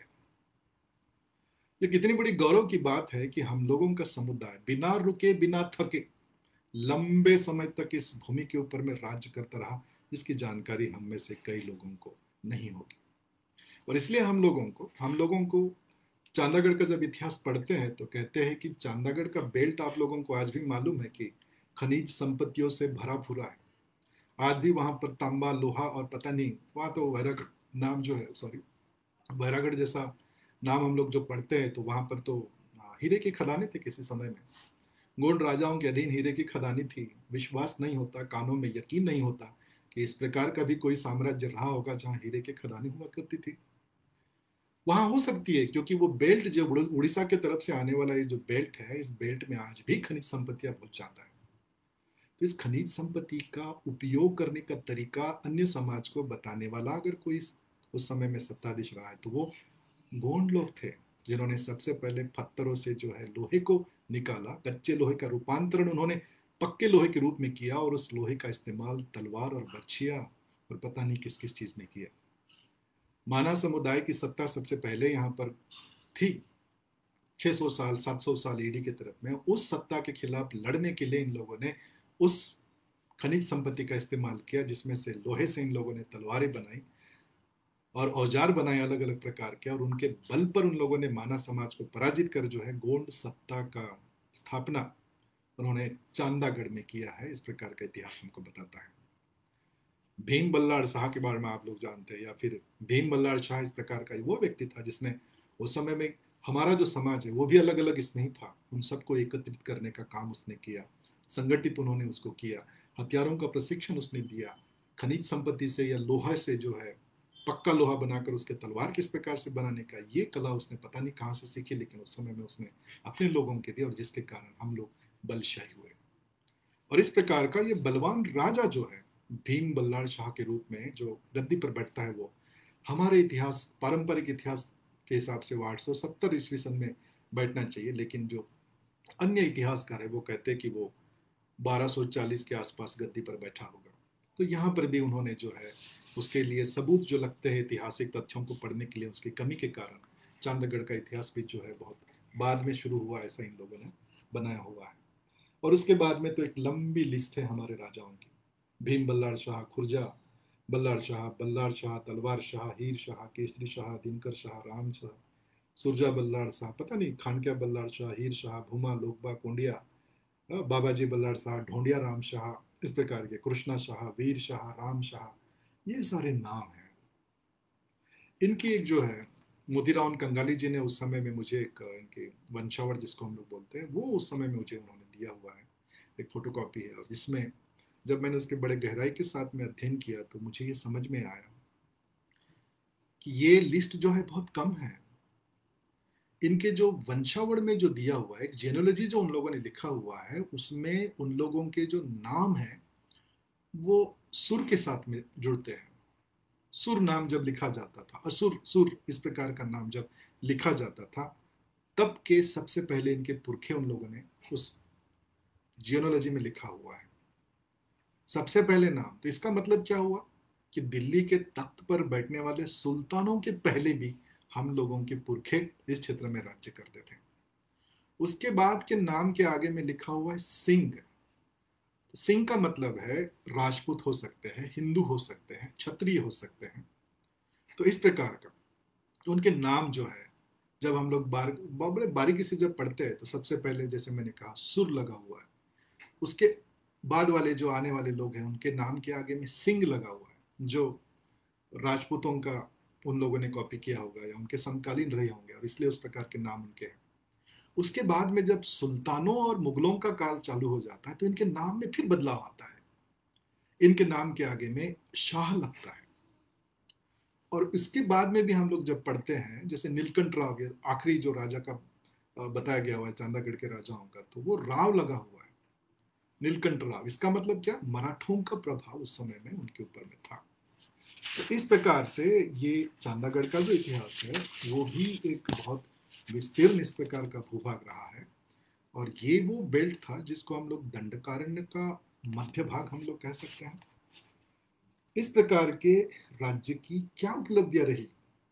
इनको हम लोग आज के दिन याद कर रहे हैं और इसलिए मैं सबसे पहले आप लोगों को बताऊँ कि चांदागढ़ के राजाओं ने बाहमनी जो दक्षिणी राज्य थे, मुस्लिम राज्य थे, उन लोगों के आक्रमण जो इनके ऊपर में होते थे पर्टिकुलरली माहूरगढ़ जो है, जो गोंड राजवंश ने बनाया हुआ है, उसके ऊपर में आक्रमण वो लोग करते थे, क्योंकि वो चांदागढ़ का ही हिस्सा उस समय में था। वहाँ कई बार उन लोगों ने आक्रमण किया और उनको पराजित करने में हमारे गोंड राजवंश के राजा कभी पीछे नहीं रहे। बाहमनी राजा को एक नहीं, दो नहीं, तीन नहीं, चार बार इन लोगों ने पराजित किया हुआ। क्या इससे हम लोगों को ये समझ में नहीं आते कि इनकी शक्ति भी जो है ये मामूली नहीं थी? ये भी शक्तिशाली थे। ये भी जो है, उनकी एक रणनीति उनकी उस समय में रही होगी और उनकी जो है शक्ति या जो नापने की जो कुछ भी पैमाने होंगे, उसमें ये लोग बहुत आगे थे। और इसलिए ये हो चंद्रपुर के राजाओं ने जो टकोली नाम की कर व्यवस्था उस समय में लागू की थी, वो कर व्यवस्था मराठों के समय में भी जस की तस बनी रही। इसका क्या मतलब हुआ? मराठों को भी हिम्मत नहीं हुई कि इस प्रकार की कर व्यवस्था को वो बदल दें। और ये टकोली नाम की कर व्यवस्था जो है, वो हमारे राजाओं का योगदान है, वो चांदागढ़ के राजाओं का योगदान है। इसके अलावा कृषि का विस्तार इन लोगों ने किया हुआ है, वो भी बहुत इंपॉर्टेंट है। क्योंकि ये तो जंगली हिस्सा था, यहाँ तो हिस्र पशु रहते थे, ये दंडाकरण्य किसी समय में कहा जाता था, इस प्रकार के भूभाग में, ऊपर में कितने पेड़ पौधे होंगे, कितने पशु पक्षी होंगे, आप लोग सोच सकते हैं। इस प्रकार की भूमि को सुजलाम सुफलाम बनाना इतना आसान नहीं था। लेकिन चांदागढ़ के राजाओं ने इसको सुजलाम सुफलाम बनाया। कृषि का विस्तार किया और कृषि का विस्तार ही नहीं किया तो सिंचन व्यवस्था भी उन्होंने प्रस्तापित की। सिंचाई के साधन के रूप में अब आपको समझ में आ रहा होगा कि तालाबों का तालाबों का निर्माण इन्होंने क्यों किया होगा? बावड़ियों का निर्माण इन्होंने क्यों किया होगा? आज भी रामाड़ा तालाब जैसे वहाँ के रामशाह जो राजा रह चुके उनके नाम से है वहाँ पर आज भी। तो ये तालाब किसने बनाए हुए हैं? इन्होंने बनाए हुए हैं। लोगों के सुविधाओं के लिए बनाए हुए हैं। इतना ही नहीं है तो वहाँ पाइपलाइंस भी बिछी हुई है। गोंड राजाओं के काल में चंद्रपुर में। आज भी खुदाई पर निकलते हैं। ये उनके समय की जो है, वो पानी का व्यवस्थापन किस प्रकार से करना, हम लोगों ने लोगों को सिखाया हुआ जो आज हम लोग भूल चुके हैं। इसके अलावा उन लोगों ने उस समय में आजू बाजू के जितने भी प्रांत हुआ करते थे, दक्षिणी भाग पर्टिकुलरली आंध्रा की तरफ़ से उधर के कई सारे लोगों को, आज जो भी हम लोगों को यहाँ पर बहुत सारे जो साउथ इंडियन दिखाई देते हैं, उन लोगों को, उन लोगों ने बुलाया हुआ है। कृषि करने के लिए उन लोगों को बुलाया, बाग बगीचे लगाने के लिए उन लोगों को बुलाया, जल व्यवस्थापन के लिए उन्होंने बुलाया, जंगल काटने के लिए लोगों को बुलाया, और इस प्रकार से मध्य भारत की जनसंख्या बढ़ाने में उनका बहुत बड़ा योगदान रहा हुआ है। इतना ही नहीं किया उन लोगों ने, सिर्फ़ कृषि का विकास ही नहीं किया तो उस समय के व्यापारी, व्यवसायियों को भी उन लोगों ने न्योता देकर यहाँ पर बुलाया और अपना जो साम्राज्य है उसका और ज़्यादा वैभवशाली बनाने का काम उन्होंने किया हुआ है। इस प्रकार के तो इस प्रकार के कई काम हम लोग कह सकते हैं कि मध्य भारत में गोंड राजवंशों ने किया हुआ है, जिसमें चांदागढ़ का जो नाम है वो भी अग्रणी है। चौथा और अंतिम एक और जो है, राज्य की बात हम लोग करेंगे और उसके बाद में उसका विश्लेषण भी मैं आप लोगों के साथ में करना चाहूँगा। लेकिन उससे पहले हम लोग इस चीज़ को जाने कि खेरला नाम का एक और जो गढ़ है वो भी मध्य भारत का एक सदन इस प्रकार का गढ़ था। हाँ इसकी जो आ, समय सीमा थी वो बहुत ज़्यादा नहीं थी। 1300 से लेकर तो 1400 के बीच में सौ साल के अंदर में ये जो है राज्य ख़त्म हो गया। लेकिन उसके बावजूद इसने जो मुकुंद राज लिखित जो एक विवेक सिंधु नाम का जो किताब है उस विवेक सिंधु में सबसे पहले खेरला राज्य के बारे में लिखा गया हुआ है। उस विवेक सिंधु में वो लिखते हैं कि मुकुंद राज नाम, वो जो लिखते हैं कि खेरला क्षेत्र में जो है जैतपाल नाम का एक आखिरी क्षत्रिय जो है राजा हुआ करता था और उसके मृत्यु के बाद में जो है वहाँ पर जो है गोंड लोगों की सत्ता प्रस्तापित हुई थी। और उस गोंड राजाओं की जो सत्ता प्रस्तापित हुई थी, वो बहुत ज़्यादा धनी और शक्तिशाली बाद में दिखाई देते हैं, ऐसा उन्होंने लिखा हुआ है। तो इस प्रकार का ये जो खेरला नाम का जो ठिकान है, वहाँ का जो सबसे बलशाही और सबसे बेहतरीन इस प्रकार का जो राजा रहा हुआ है, उसका नाम था नरसिंह राय। नरसिंह राय के ऊपर में फिर से बहामनी राजा जो है, फिरोज शाह, इस प्रकार का जो बहामनी राजा था, जो दक्षिण की तरफ़ से इनके ऊपर में आक्रमण करता है। जैसे कि गढ़ा मंडला के समय में भी अकबर ने जो है अपने आशफ खान नाम के उनका जो सरदार था, उनका जो ये था, उसको उन्होंने भेजा था रानी दुर्गावती के खिलाफ में। तो कई बार हम लोगों को ये सवाल इसमें पैदा होता है कि इस प्रकार के बाहमनी किंगडम्स हो या फिर हम लोग कहेंगे कि मुगलों ने जो है गोंडवाना के ऊपर में आक्रमण क्यों किया हुआ है? वो इसलिए किया हुआ है क्योंकि यहाँ का धन, यहाँ की संपत्ति, यहाँ का वैभव उनको आकर्षित करती थी। आज भी आप लोगों को मालूम होगा कि चोरी आदमी वही करता है जो बड़ा घर दिखता है, सदन दिखता है, वहाँ झोपड़ी में कौन चोरी करता है? तो गोंडवाना इसी प्रकार का साम्राज्य उस समय में रहा और जिसके कारण यहाँ पर जो है लोग आक्रमण करते चले गए। और यहाँ पर जो है, हम लोगों की जो कुछ भी सत्ता उस समय में बनी हुई थी, उसको नेस्तनाबूद करने का काम जो है, ये बाहरी शक्तियों ने किया हुआ है। बामनियों के साथ में खोशंगाबाद का भी राजा था, उसने भी जो है, इसके ऊपर में आक्रमण किया था। तो ऐसे ये चार जो बड़े किंगडम हैं, जिनके बारे में मैं आप लोगों को बता रहा था, ये एक बेहतरीन इतिहास जो है, हम लोगों के सामने में प्रस्तुत करते हैं, जहाँ हम लोगों को ये याद रखना है कि किस प्रकार से जो है हमारे पुरखों ने जो है हम लोगों का गौरवशाली इतिहास को संपन्न किया, बढ़ाया। लेकिन अंत में जब हम लोग इनका विश्लेषण करते हैं तो मेरे चर्चा में ये चीज़ आती है कि आज हम लोगों के पास में क्या है? प्राचीन काल में हम लोगों के पास में क्या था? वो तो बात चली गई। मध्ययुगीन काल में हम लोग कैसे रहे, उस चीज़ को भी हम लोग बात बाजू में रख देते लेकिन सबसे महत्वपूर्ण चीज़ है कि आज हम लोगों के पास में क्या है? आज हमारा जो समाज है, वो विश्व भर की समस्याओं से ग्रस्त है। आज हम लोगों के पास में वो सब कुछ नहीं है, जो हमारे पुरखों के पास में किसी समय में था। आज हम लोग धरातल के, पृथ्वी तल के सबसे गरीब गरीब समाज से हम लोग जो है संबंध रखते हैं या जाने जाते हैं। आज हम लोगों की पहचान क्या है? कुछ भी नहीं है। जिसे मन में जो आता है, वो हमें नाम देकर चला जाता है। कोई हमको कहता है कि वनवासी कहता है, कोई आदिवासी कहता है, कोई आदिम कहता है, कोई शेड्यूल ट्राइब कहता है, कोई गिरिजन कहता है, कोई जंगल से राजे कहता है, पता नहीं क्या क्या बोलकर चले जाते हैं। लेकिन हम लोगों की अस्मिता कहीं खो गई है। और इसलिए जब मैं किताबों को पढ़ रहा था, तब मुझे समझ में आया कि बहुत सारे आज़ादी से पहले जिन लोगों ने किताबें लिखी हुई हैं, चाहे जे एफ़ हैविट हो बॉम्बफुल फूलर हो एस डी संकालिया हो कैप्टन फोर्सित हो डी डी चैटरटन हो आर वी रसेल हो हीरालाल हो गियरसन हो वाई एम काड़े है, इस प्रकार के ये लोग जो है, वो जब लिखते हैं हमारे बारे में, आदिवासियों के इतिहास के बारे में तो वो लोग हम लोगों को अलग अलग नाम से पुकारते हैं। और ये नाम सुन के बड़ी तकलीफ़ होती है। कोई बोलता है मूल्यवासी है, कोई बोलता है आदिपुत्र है, कोई बोलता है वन पुत्र है, कोई बोलता है धरती के पुत्र है, कोई बोलता है लंगोटिया है, कोई बोलता है अरण्यक है, कोई वन्य जमाती कहता है, कोई जंगल का राजा कहता है। एग्जैक्टली exactly हम है क्या? उसके बाद में भी ये यात्रा रुकी नहीं है। ये गलतियाँ पर गलतियाँ करती चली गई। आज़ादी के पहले लोगों ने लिखा उसी को आज़ादी के बाद में भी लोगों ने लिखना शुरू कर दिया।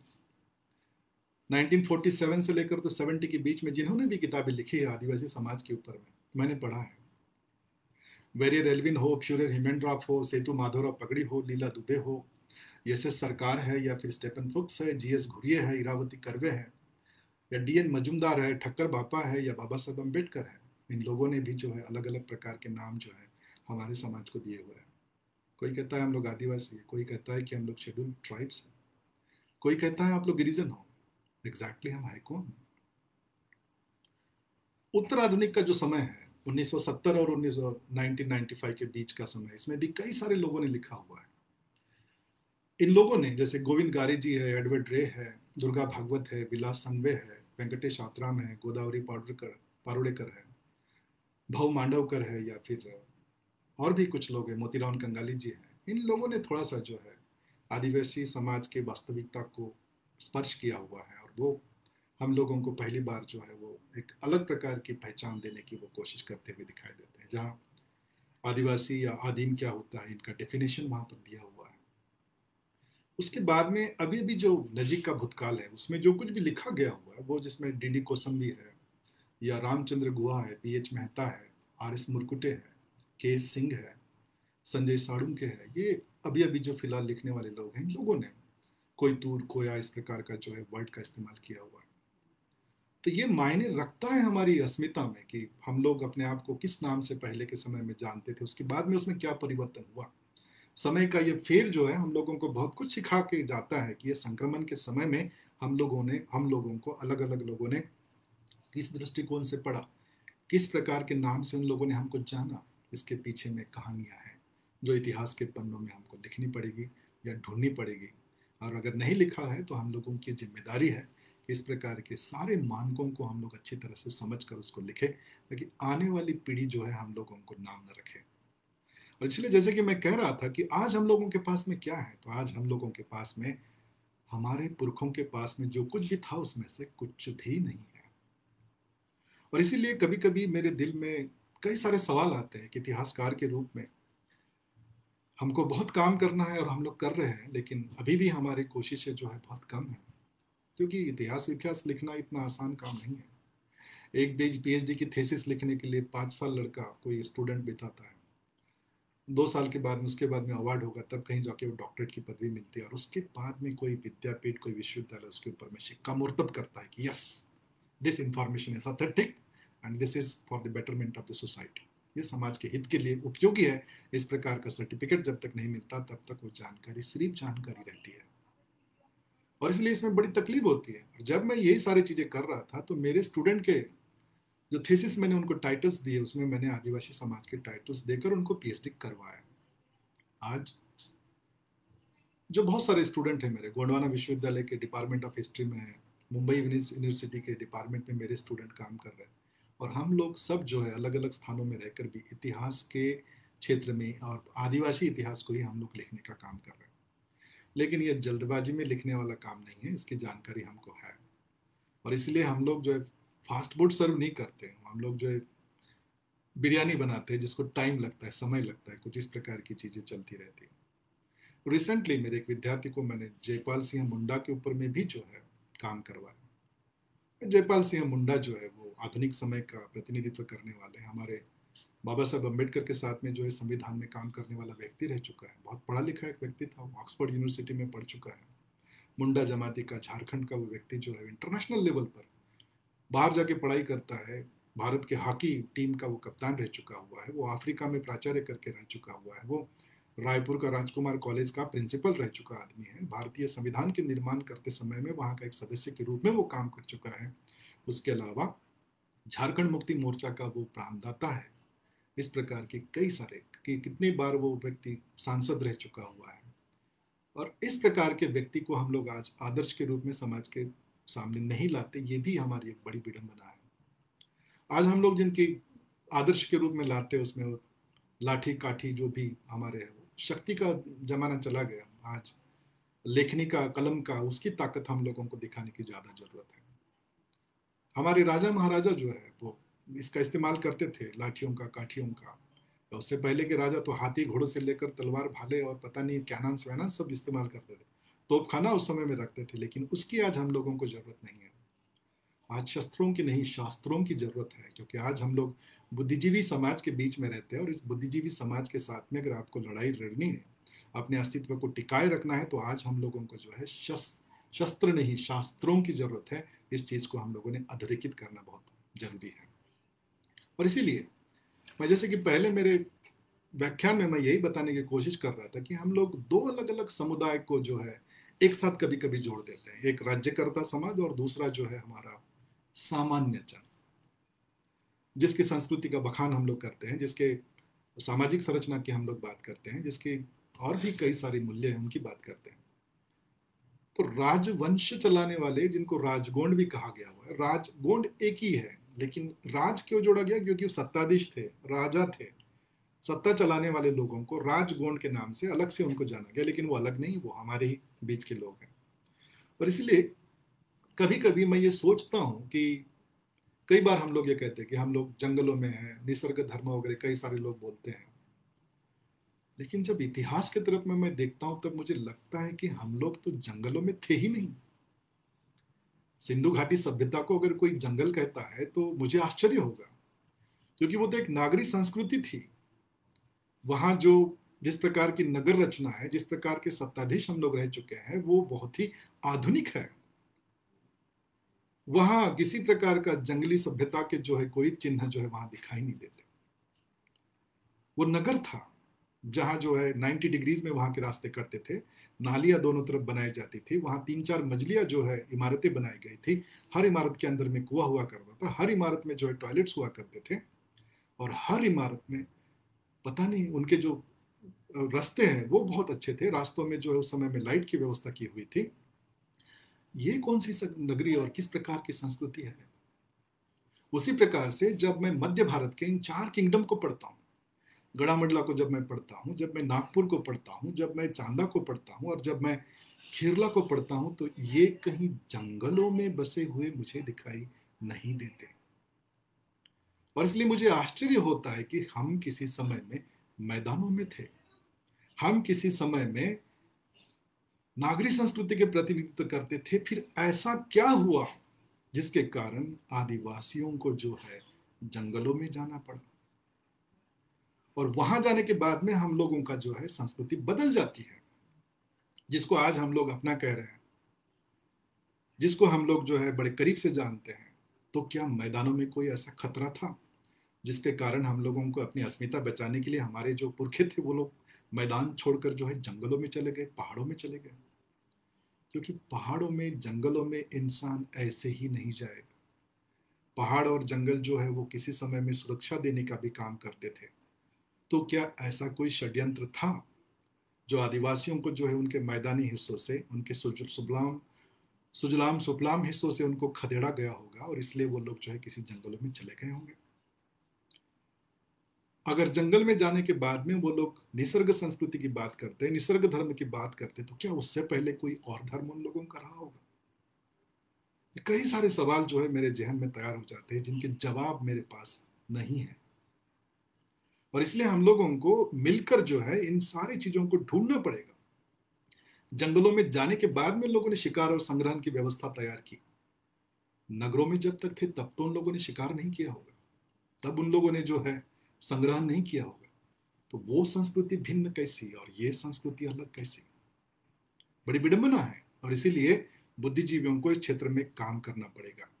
तो हमको ये सोचना ज़रूर पड़ेगा कि शिकार संग्रहण करने से पहले हम लोग क्या करते थे? कहीं शिकार संग्रहण करने से पहले हम लोगों की संस्कृति सिंधु तो नहीं है।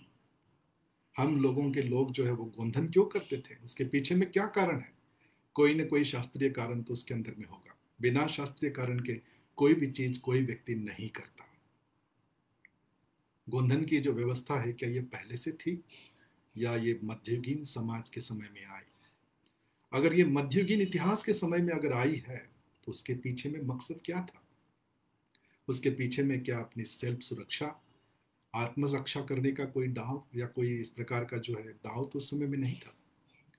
कोई व्यक्ति अपने आप को जो है हम लोग जब देखते हैं ना, ये जैसे कि गोंधन है या आदिवासियों के जो भी आभूषण वो लोग पहनते हैं, हम लोग उनको एस्थेटिक पर्पज से हम लोगों ने नहीं देखना चाहिए। एस्थेटिक पर्पज से अन्य समाज के लोग अपने आभूषण को तरफ़ देखते हैं। हमारे समाज में एस्थेटिक पर्पज से इनका इस्तेमाल नहीं किया जाता था।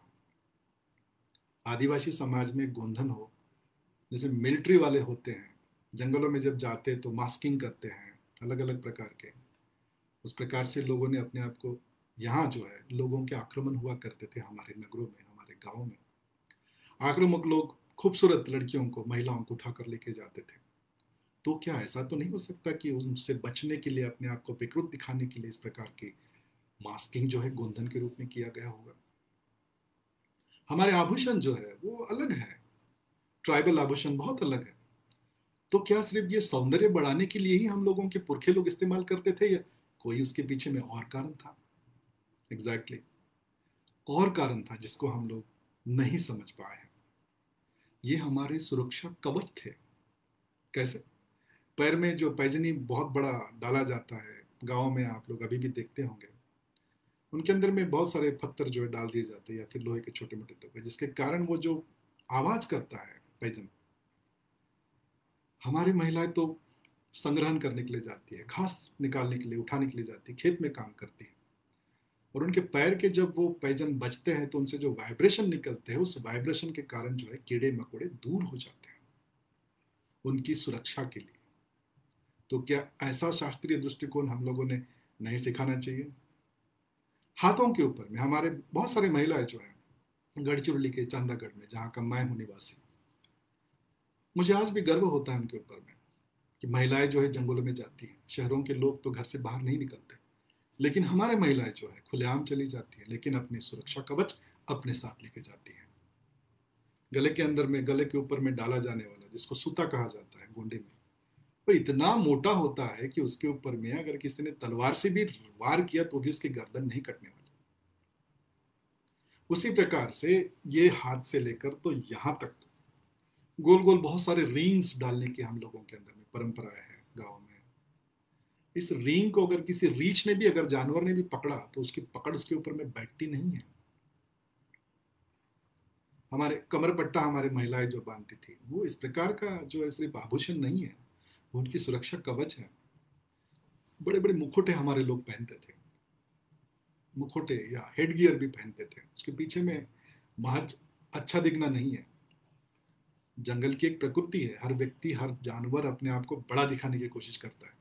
चाहे पशु हो, पक्षी हो या नाग, सांप हो, कोबरा फॉर एग्ज़ाम्पल तो अपने आप को जो है, बृहत अपने आप को बड़ा दिखाने की क्या वो हमारी कोई चाल तो नहीं थी शिकार के समय में? तो ऐसे कई सारे पहलू होते हैं। और भी एक, बहुत सारा एक जो है जनरली आप लोगों ने पढ़ा होगा कि हमारे लोग बलि प्रथा देते थे, ऐसा हम लोग सुनते हैं। बलि भी कौन सी? मानव की बलि देते थे, ऐसा हम लोग सुनते हैं। मुझे जब आश्चर्य हुआ, जब मैंने पढ़ा इस चीज़ को और बड़े ध्यान से जब इसको ढूँढने की कोशिश करने लगा तो मुझे उसका मतलब कुछ अलग ही नज़र आया। क्योंकि हमारे संस्कृति का वो बिल्कुल भी अंग नहीं है। मनुष्य की बलि देना हमारे किसी भी संस्कृति में कहीं पर भी लिखा नहीं हुआ है। फिर ये किवदंती किस प्रकार से आई? और तब जब इसका मैंने खोजबीन करना शुरू कर दिया तो मुझे ये समझ में आया कि वो एक वार्निंग था। जैसे इलेक्ट्रिसिटी के बोर्ड के खंबे के नीचे लिखा रहता है, खतरा। तो उस प्रकार की ये जो एक भ्रम लोगों के सामने में आंध्रा के राजाओं ने या वहाँ के जमींदारों ने फैला के रखा था। जब वहाँ पर बाहरी लोगों का प्रादुर्भाव बढ़ने लगा, बाहर के लोग वहाँ पर आकर जो है अंतर्गत चीज़ों का ऊपर में हस्तक्षेप करने लगे, तब लोगों को आगाह करने के लिए अंदर आओगे तो काटे जाओगे। और इस प्रकार से वो नरबली की प्रथा जो है प्रचलित हो गई और जिसके डर के कारण अंतर्गत भागों में बाहरी लोगों का आना जो है कम हो गया या रुक गया। तो ऐसे ऐसे मीनिंग जब हम लोग निकालते हैं इतिहासकार, तब हम लोगों की सोच बदल जाती है। क्योंकि हमारे लोग इतने निर्दयी नहीं हो सकते, जो इतने प्रगल्भ संस्कृति के जो मालिक है, वो व्यक्ति जो है इतना निर्दयता के साथ किसी व्यक्ति को नहीं काट सकता। लेकिन हाँ दुश्मनों को वो काट सकता था। क्योंकि वो राजा महाराजाओं से संबंधित था इस प्रकार के। तो ये सारी चीज़ें जो है, हम लोगों को समझने की ज़रूरत है। जब हम लोग, जब भी इतिहास को पढ़े, गहराई से इन सब चीज़ों को पढ़े और उनके मतलब जो है, हमारे चश्मे के हिसाब से हम लोगों ने उसको मतलब निकालना चाहिए। ना कि गैरों ने जो लिखा, क्योंकि ये गलती बार बार हुई है।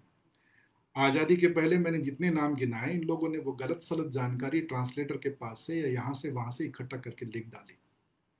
उसके बाद में जब आज़ाद देश हुआ, तब भी पुराने लोगों को कॉपी कर कर बाकी लोगों ने उसके ऊपर में जस का तस लिख कर जो है बहुत बड़े पोथी पुराण उन लोगों ने लिख दिया हम लोगों ने भी वही गलत काम किया। जब हम लोग पढ़ रहे थे और हम लोग जब इस प्रकार का संशोधन प्रारंभिक तौर पर कर रहे थे तो यही सारी जानकारी जो इन लोगों ने हम लोगों को परोसा, उसी को हम लोगों ने जो है परोसा। और जिसके कारण हम लोगों ने भी वही गलत जानकारी लोगों के सामने में रखी, लेकिन अब हम लोग उसको सुधार रहे हैं, दुरुस्त कर रहे हैं और ये बेहद ज़रूरी है। और इसीलिए भाई और बहनों, ये हम लोगों को समझना बहुत इंपॉर्टेंट है कि हम लोग गौरवशाली इतिहास के साक्ष्य तो है ही, लेकिन आज हम लोगों को बहुत सारा चिंतन और मनन भी करने की ज़रूरत है। जैसे राजाओं और महाराजाओं के बारे में मैं जब आपको बता रहा था कि हमारे राजाओं के पास में हाथी थे, घोड़े थे, सब कुछ था, महल थे, बावड़िया थी, कुएँ थी, खेत खलिहान, सब कुछ था। लेकिन आज हम लोगों को ये सोचने की ज़रूरत है कि आदिवासी राजा से रंक कैसे बने।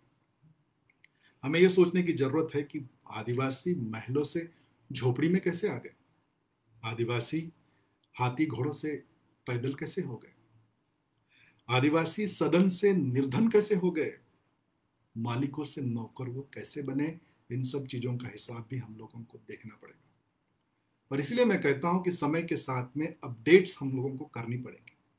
सामाजिक क्रांतियाँ ऐसे ही नहीं होती, वैचारिक उद्भव भी इसी प्रकार से नहीं होता।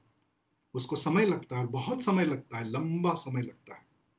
और ऐसे समय में हम लोग जैसे कि बदलते वातावरण के साथ में बदलना और बदलते वातावरण की परिस्थितियों को समझना बहुत इंपॉर्टेंट है और इसके लिए पढ़ना एकमात्र जो है बड़ी ज़िम्मेदारी है जो हमारे बच्चों ने, हमारी पीढ़ी के लोगों ने करना चाहिए। जब तक हम लोग अच्छा शिक्षा ग्रहण नहीं करेंगे, दुनिया किस प्रकार से सोचती है, कहाँ जा रही है, ये हमारे समझ में नहीं आएगा। और इसीलिए हम लोगों को ये सोचना चाहिए, किसी समय में हमारे राजा लोग राजवस्त्र धारण करते थे, आज हमारे लोग लंगोटी पर किस प्रकार से आ गए। आदिवासी किसी समय में नागरी संस्कृति के प्रतीक थे, वो जंगलों में कैसे आ गए? ऐसे कई सारे सवाल जो है जिनके जवाब मेरे अकेले के पास में बिल्कुल भी नहीं है। और इसीलिए आज का जो हमारा जो भी दुश्मन है, वो हम लोगों से ज़्यादा तकनीक जानता है। उसके वैचारिक पार्श्वभूमि हम लोगों से कई गुना ज़्यादा है। सारी दुनिया का ज्ञान उस व्यक्ति ने अपने अंदर में समेट के रखा हुआ है। छल कपट से हम लोगों को पीछे धकेलते हैं। हम लोगों को तकलीफों में डालते हैं और इसलिए हम लोगों को इस बदलते समय को समझना बेहद ज़रूरी है। वक्त जोरों से बदल रहा है और इस प्रकार के बदलाव को अगर हम लोग समझ नहीं पाएँगे तो हम लोगों का अस्तित्व फिर से खत्म हो जाएगा। और इसलिए आज हम लोगों के सबसे अच्छे बल क्या है? हमारे बल है, हम लोगों के पास में समृद्ध संस्कृति है। हम लोगों के पास में समृद्ध इतिहास है। हम लोगों के पास में जो है गोंडवाना लैंड नाम का एक प्राचीन भूमि है। हम लोगों की स्वयं की भाषा है। लेकिन ऐसे बहुत सारे समाज आज भी है जो लड़ रहे हैं, झगड़ रहे हैं। उनकी अपने खुद का अस्तित्व नहीं है, ना उनकी खुद की भाषा है, ना उनके नाम का कोई लैंड है। हमारे पुरखों ने जो लैंड हम लोगों के लिए बनाया, वो हमारी पहचान है। उसी से साबित होता है कि हम प्राचीन हैं और हम यहीं के हैं। इसलिए हम लोगों की संस्कृति, हमारा इतिहास, हमारी गोंडवाना लैंड या हमारी भाषा, इन चीज़ों का जतन, समर्थन उतना ही करना ज़रूरी है, जितना हम लोगों के लिए ज़िंदा रहना। और इसी पर हम लोग जो है, हम लोगों ने गर्व करना चाहिए। आज अमेरिका का एक बहुत बड़ा विद्वान जो है नोएम चौकसी नाम का, वो कहता है कि आदिवासी जो है इस दुनिया में जो आधुनिकीकरण का विरोध कर रहे हैं, वो जो है बहुत सारे फैक्ट्रीज है मशीन्स है, विकास है, इसका विरोध करते हैं। इसका विरोध कर रहे हैं, इसका मतलब वो इस धरती के संरक्षक है। इस धरती को वो लोग बचाना चाहते हैं, यहाँ के निसर्ग को बचाना चाहते हैं। जल, ज़मीन का जो यहाँ पर बहुत बड़ा जो हनन किया जा रहा है, उसका वो विरोध कर रहे हैं। वो पृथ्वी को बचाने का, संरक्षक की भूमिका पार कर रहे हैं। और इसीलिए हम लोगों को इस चीज़ को समझना बहुत ज़रूरी है कि हम लोग इस धरती के संरक्षक हैं। हम इसके विध्वंसक नहीं हैं। और इसलिए आज हमको क्या करना पड़ेगा? आज हम लोगों को पढ़ना पड़ेगा। आने वाली पीढ़ियों को पढ़ाना पड़ेगा और इस प्रकार से पढ़ाना पड़ेगा, जिसमें जैसे मैंने कहा, शास्त्रों को जानना बेहद ज़रूरी है, क्योंकि उसी के इर्द गिर्द जो है, आज की दुनिया चलती है। तकनीक को समझना, वो भी, उससे भी ज़्यादा इंपॉर्टेंट है। और जब तक ये तकनीक हम लोगों के समझ में नहीं आएगी, हम लोग अपने आप को अपडेट नहीं कर पाएँगे और समय के साथ हम लोग कहीं जो है दब जाएँगे। इस चीज़ को उतनी ही बारीकी से हम लोगों ने समझना चाहिए। मेहनत करने से कोई इंसान मरता नहीं है और हमें भी हमारे समाज के लिए जो है मेहनत करना चाहिए। अगर हम लोग मेहनत करना छोड़ देंगे, जिस दिन मेहनत करना छोड़ देंगे, उस दिन हम लोग खतरे में आ जाएँगे। और इसीलिए हमारे जितने भी भाई बहन हैं जो मुझे इस वक्त सुन रहे हैं हम लोग, हम लोगों का ये कहना है कि हमारे समाज में ज़रूरी नहीं है कि बहुत बड़े विद्वानी हो मैं तो आप लोगों से ही सीखा है, मैंने बताया कि गोंडवाना दर्शन के माध्यम से जितने भी जो है कार्यक्रम हुए उसमें से सारे वीडियोस में लगभग देख चुका हूँ। और इसलिए छोटी सी छोटी जानकारी भी जो है हम सभी के लिए बहुत महत्वपूर्ण है। आप लोगों को यकीन नहीं होगा कि पिछले तीन चार साल के अंदर में या पाँच छः साल के अंदर में मैं कई जगह जा चुका हूँ। मैं श्रीलंका गया था। वहाँ पर मैंने आदिवासियों की जो धार्मिक कल्पनाएँ हैं या धार्मिक उनका जो स्वरूप है, उसके ऊपर में मैंने पेपर प्रस्तुत किया था केलेनिया यूनिवर्सिटी में। उसके बाद में मैं अमेरिका भी गया था वहाँ पर आप लोगों को यकीन नहीं होगा कि हम लोगों ने एक पैनल लड़ाया था और सुनहेर सिंह ताराम जी को हम लोगों ने वहाँ पर प्रस्तुत किया था। टेक्सास यूनिवर्सिटी, ऑस्टिन में, अमेरिका में मैं खुद वहाँ पर जो है चेयरमैन भी था और उसके बाद में फिर मैंने मैंने भी एक पेपर वहाँ पर प्रस्तुत किया था और मैंने उस पेपर में ये लिखा था कि गोंडी भाषा जो है वो किस प्रकार से जो है संस्कृति का मापदंड है मध्य भारत में। और इसकी बड़ी तारीफ़ हुई थी। वहाँ की यूनिवर्सिटी ने मुझे बुलाया था और मैं वहाँ गया। इसके अलावा गोंडवाना दर्शन पत्रिका के ऊपर में एक पेपर मेरे ही सेशन में प्रेजेंट किया गया था, जिसमें ये समझाने की हम लोगों ने दुनिया को कोशिश की थी कि गोंडवाना दर्शन पत्रिका जो है किस प्रकार से कम्युनिकेट करती है, जोड़ती है विचारों से, लोगों को, उनकी संस्कृति से। तो इसका बहुत बड़ा अहम मुद्दा जो है, अमेरिका के व्यासपीठ के ऊपर में भी रखा गया था। आज इस हिसाब से, आज जो कुछ भी हम लोग यहाँ पर प्रस्तुत कर रहे हैं, या फिर मैं आप लोगों से जो कुछ भी बातें कर रहा हूँ कमेंट्स बहुत आए हैं, मुझे मालूम है, मैं हर एक का जवाब नहीं दे सकता। लेकिन जिस प्रकार से आप लोगों ने मुझे रिस्पॉन्ड दिया हुआ है, उस हिसाब से मुझे लगता है कि ये चीज़ जो है बहुत उपयोगी होगी आने वाली पीढ़ी के लिए। और मैं ये, मेरी ज़िम्मेदारी समझता हूँ, क्योंकि मैंने कई लोगों को सुना है, जब आप लोग गोंडवाना के जो प्लेटफॉर्म के ऊपर में जब बोला जाता है तो कहते हैं कि इतिहासकारों की ज़िम्मेदारी है। लेकिन मैं आप लोगों को ये आगाह कर दूँ कि हमारे समाज के इतिहासकार जब तक उभर कर नहीं आएँगे, तब तक आपके इतिहास को कोई लिखने वाला नहीं है। दूसरे किसी भी व्यक्ति की सहानुभूति आपके इतिहास के साथ में नहीं है। वो अपनी ज़िम्मेदारी के रूप में उसको नहीं लिखेगा। उसकी प्राथमिकता कुछ और है, लेकिन अगर अपने समाज के लोग उभर कर आते हैं, इतिहास को पढ़ते हैं और लिखते हैं तो उनकी जद्दोजहद अलग होगी, उनकी मेहनत अलग होगी। समाज को इतिहासकार बनाते हैं। मराठों का इतिहास जिन्होंने लिखा हुआ है, सरदेसाई है, राजवाड़े हैं, उससे पहले तक कोई नहीं जानता था। लेकिन इन लोगों ने जब उसको लिखा, उसके बाद में मराठा समाज की अस्मिता सातवें आसमान पर और बुलंदियों पर है। हम लोगों का भी वक्त आएगा। और इसीलिए आज जिस प्रकार से ज़रूरत है, इस व्यासपीठ के माध्यम से हम लोग कई सारी चीज़ों को जो है, चर्चा में मैंने लाया हुआ है। मुझे मालूम है, ये आज का जो विषय है, थोड़ा बोझिल है, डल है। लेकिन ये इतना आसान भी नहीं है हमारे पुरखों को समझना। और इसीलिए इस प्रकार के व्याख्यान बीच बीच में होना चाहिए। इतिहास यहीं पर नहीं रुकता। इतिहास इसके आगे में भी जाता है। हम लोग कहीं कम पड़ गए अपने लोगों को ये बताने के लिए हम लोग इतिहास में उन लोगों के लिए उतना अच्छा स्मरण नहीं लिख पाए जो जिनका योगदान रहा हुआ है। हम लोग ये नहीं बता पाए कि हमारे राजा भी जो है वो मुगलों के समकालीन थे, अंग्रेज़ों के समकालीन थे, मराठों के समकालीन थे। हमारे राजा हर बार पराजित नहीं हुए हैं। कई लोगों को उन्होंने पराजित किया हुआ है। इतिहास सिर्फ़ पराजित का नहीं लिखा जाता।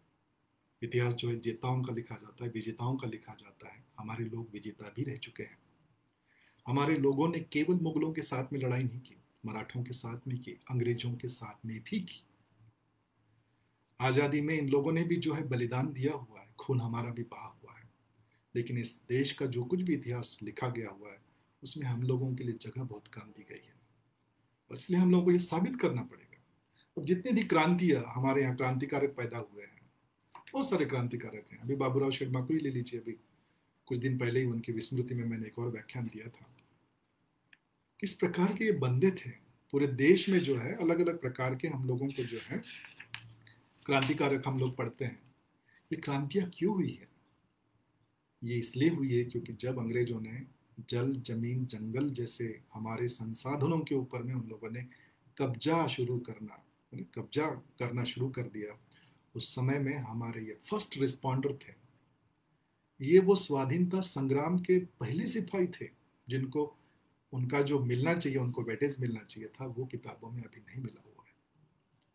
अंग्रेज़ों के साथ में अपनी जान की परवाह न करते हुए अंग्रेज़ जो शक्तिशाली थे, जिनके पास में बंदूकें थी, जिनके पास गोरा बारूद था, जिनके पास में तोप खाना था, उनके बीच में हमारे तिरंदाज लोग। है ना? बहुत कम संसाधनों से, पारंपरिक हथियारों के, जो कुछ भी होगा, उनके पास में कुल्हाड़ होगी, उनके पास में, जो भी और साधन होंगे, बाण होगा, धनुष होगा। इसके आधार पर इन लोगों ने उतने बड़े साम्राज्य को टक्कर दिया। क्या ये कम बड़ी बात है। किस लिए? जल, ज़मीन, जंगल को जब उन लोगों ने हड़पने का काम किया, उसके अलावा हमारे क्षेत्र में ये लोग जो बहुत सारे व्यवसायिक आए, बहुत सारे ठेकेदार आए, बहुत सारे व्यापारी लोगों का प्रादुर्भाव जैसे हुआ, वो लोग हमारे संसाधनों को लूटने लगे।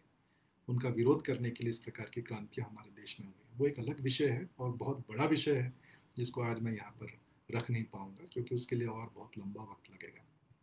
और इसीलिए मैंने आज कोशिश किया है कि आज हम लोग जो इस मध्य भारत के इतिहास के बारे में पढ़ रहे थे, और उसमें भी हम लोगों के पुरखाओं के बारे में जो जानकारी है, वो मैं आप लोगों के साथ में साझा कर रहा था। मुझे मालूम है, वक्त काफ़ी हो चुका है, और ऐसे वक्त में हम लोग जो है, बौद्धिक चर्चा कर रहे हैं, जब सारी दुनिया जो है, अलग प्रकार के माहौल में है। हाँ ये भी एक बहुत इंपॉर्टेंट चीज़ है कि आज दशहरा है और इस दशहरा के समय में हमारे बहुत सारे समुदाय में जो है, बहुत सारी भ्रांतियाँ भी है, बहुत सारी कल्पनाएँ हम लोग बनाए हुए हैं और इसलिए उनके ऊपर मैं बहुत ज़्यादा टिप्पणी तो नहीं करना चाहूँगा क्योंकि इतिहासकार के सामने में जब तक सत्य नहीं आता, कोई कागजात नहीं आती, कोई दस्तावेज़ नहीं आता, तब तक हम लोग बोलते नहीं हैं। क्योंकि इतिहास सबूत माँगता है, अदालत सबूत माँगता है, इतिहास सबूत माँगता है और वो सबूत पैदा करना इतना आसान नहीं है। आज के दिन हम लोगों के कई सारे साथी जो है, हमारे बहुत सारे समाज बंधु जो है, कहते हैं कि रावण हम लोगों का राजा था। अगर था या है तो उसके जैसे बड़ी गर्व की बात कोई नहीं है। वो बहुत बड़ी बात है, क्योंकि अगर ऐसा है तो वो धरती का ऐसा पहला व्यक्ति था जो सोने के महल में रहता था। वो धरती का ऐसा व्यक्ति था जो सारे प्रकार के ज्ञान का जो है, भंडार था। वो अगर हमारा पुरखा है तो वो ऐसा व्यक्ति था जिसके पास में विमान की तकनीक थी और उस दुनिया में उसके जैसा कोई दूसरा व्यक्ति नहीं था। तो आज के दिन हम लोगों ने क्या सीखना चाहिए? रावण की जैसी सदनता हम लोगों के समाज में भी आनी चाहिए। रावण की जैसी तकनीक को हम लोगों ने भी अपनाना चाहिए। रावण की जैसी विद्या हम लोगों ने भी जो है प्राप्त करनी चाहिए। शायद यही आज के लिए आप सभी लोगों के लिए मैसेज होगा। और मैं भी यहीं पर जो है रुकना चाहूँगा। आप लोगों के कई सारे सवाल मुझे मालूम है। कुछ आप लोग जो है जानकारी जानना चाहते हैं। बहुत सारे सवाल आप लोगों ने पूछा है, बहुत सारी जानकारी आपने साझा की है। मैं आप सभी लोगों का और गोंडवाना दर्शन के सभी जितने भी टेक्निकल टीम हैं, उन सभी का जो है पुनः मैं यहाँ पर जो है आभार व्यक्त करना चाहूँगा। और उषाताई मैं आपका विशेष आभार व्यक्त इसलिए करना चाहता हूँ कि जिस पीढ़ी का प्रतिनिधित्व आप कर रही है उस पीढ़ी को सच में सैल्यूट करना चाहिए हम लोगों ने, क्योंकि ये बहुत बड़ी ज़िम्मेदारी आपने उठाई हुई है और पूरे गोंडवाना और पूरे भारत को जो है जोड़ने का और गोंड समुदाय को एकत्रित कर, एक ऐसे मंच पर आपने लाया हुआ है जिस मंच की मैं चर्चा आज कर रहा था। बौद्धिक समाज की मैं बात कर रहा हूँ। और इसीलिए जिस प्रकार का मंच आपने हम लोगों को दिया हुआ है, आपके बहुत बड़े हम लोग आभारी हैं। और इस प्रकार से आपने जो मुझे शांति के साथ में लगभग दो घंटे से सुन रहे हैं मेरी जितनी छोटी जानकारी थी मैंने आप लोगों के सामने में रखी हुई है। और आज फिर से आप लोगों को सेवा जोहार करता हूँ और आज का ये व्याख्यान जो है समाप्त करता हूँ। धन्यवाद।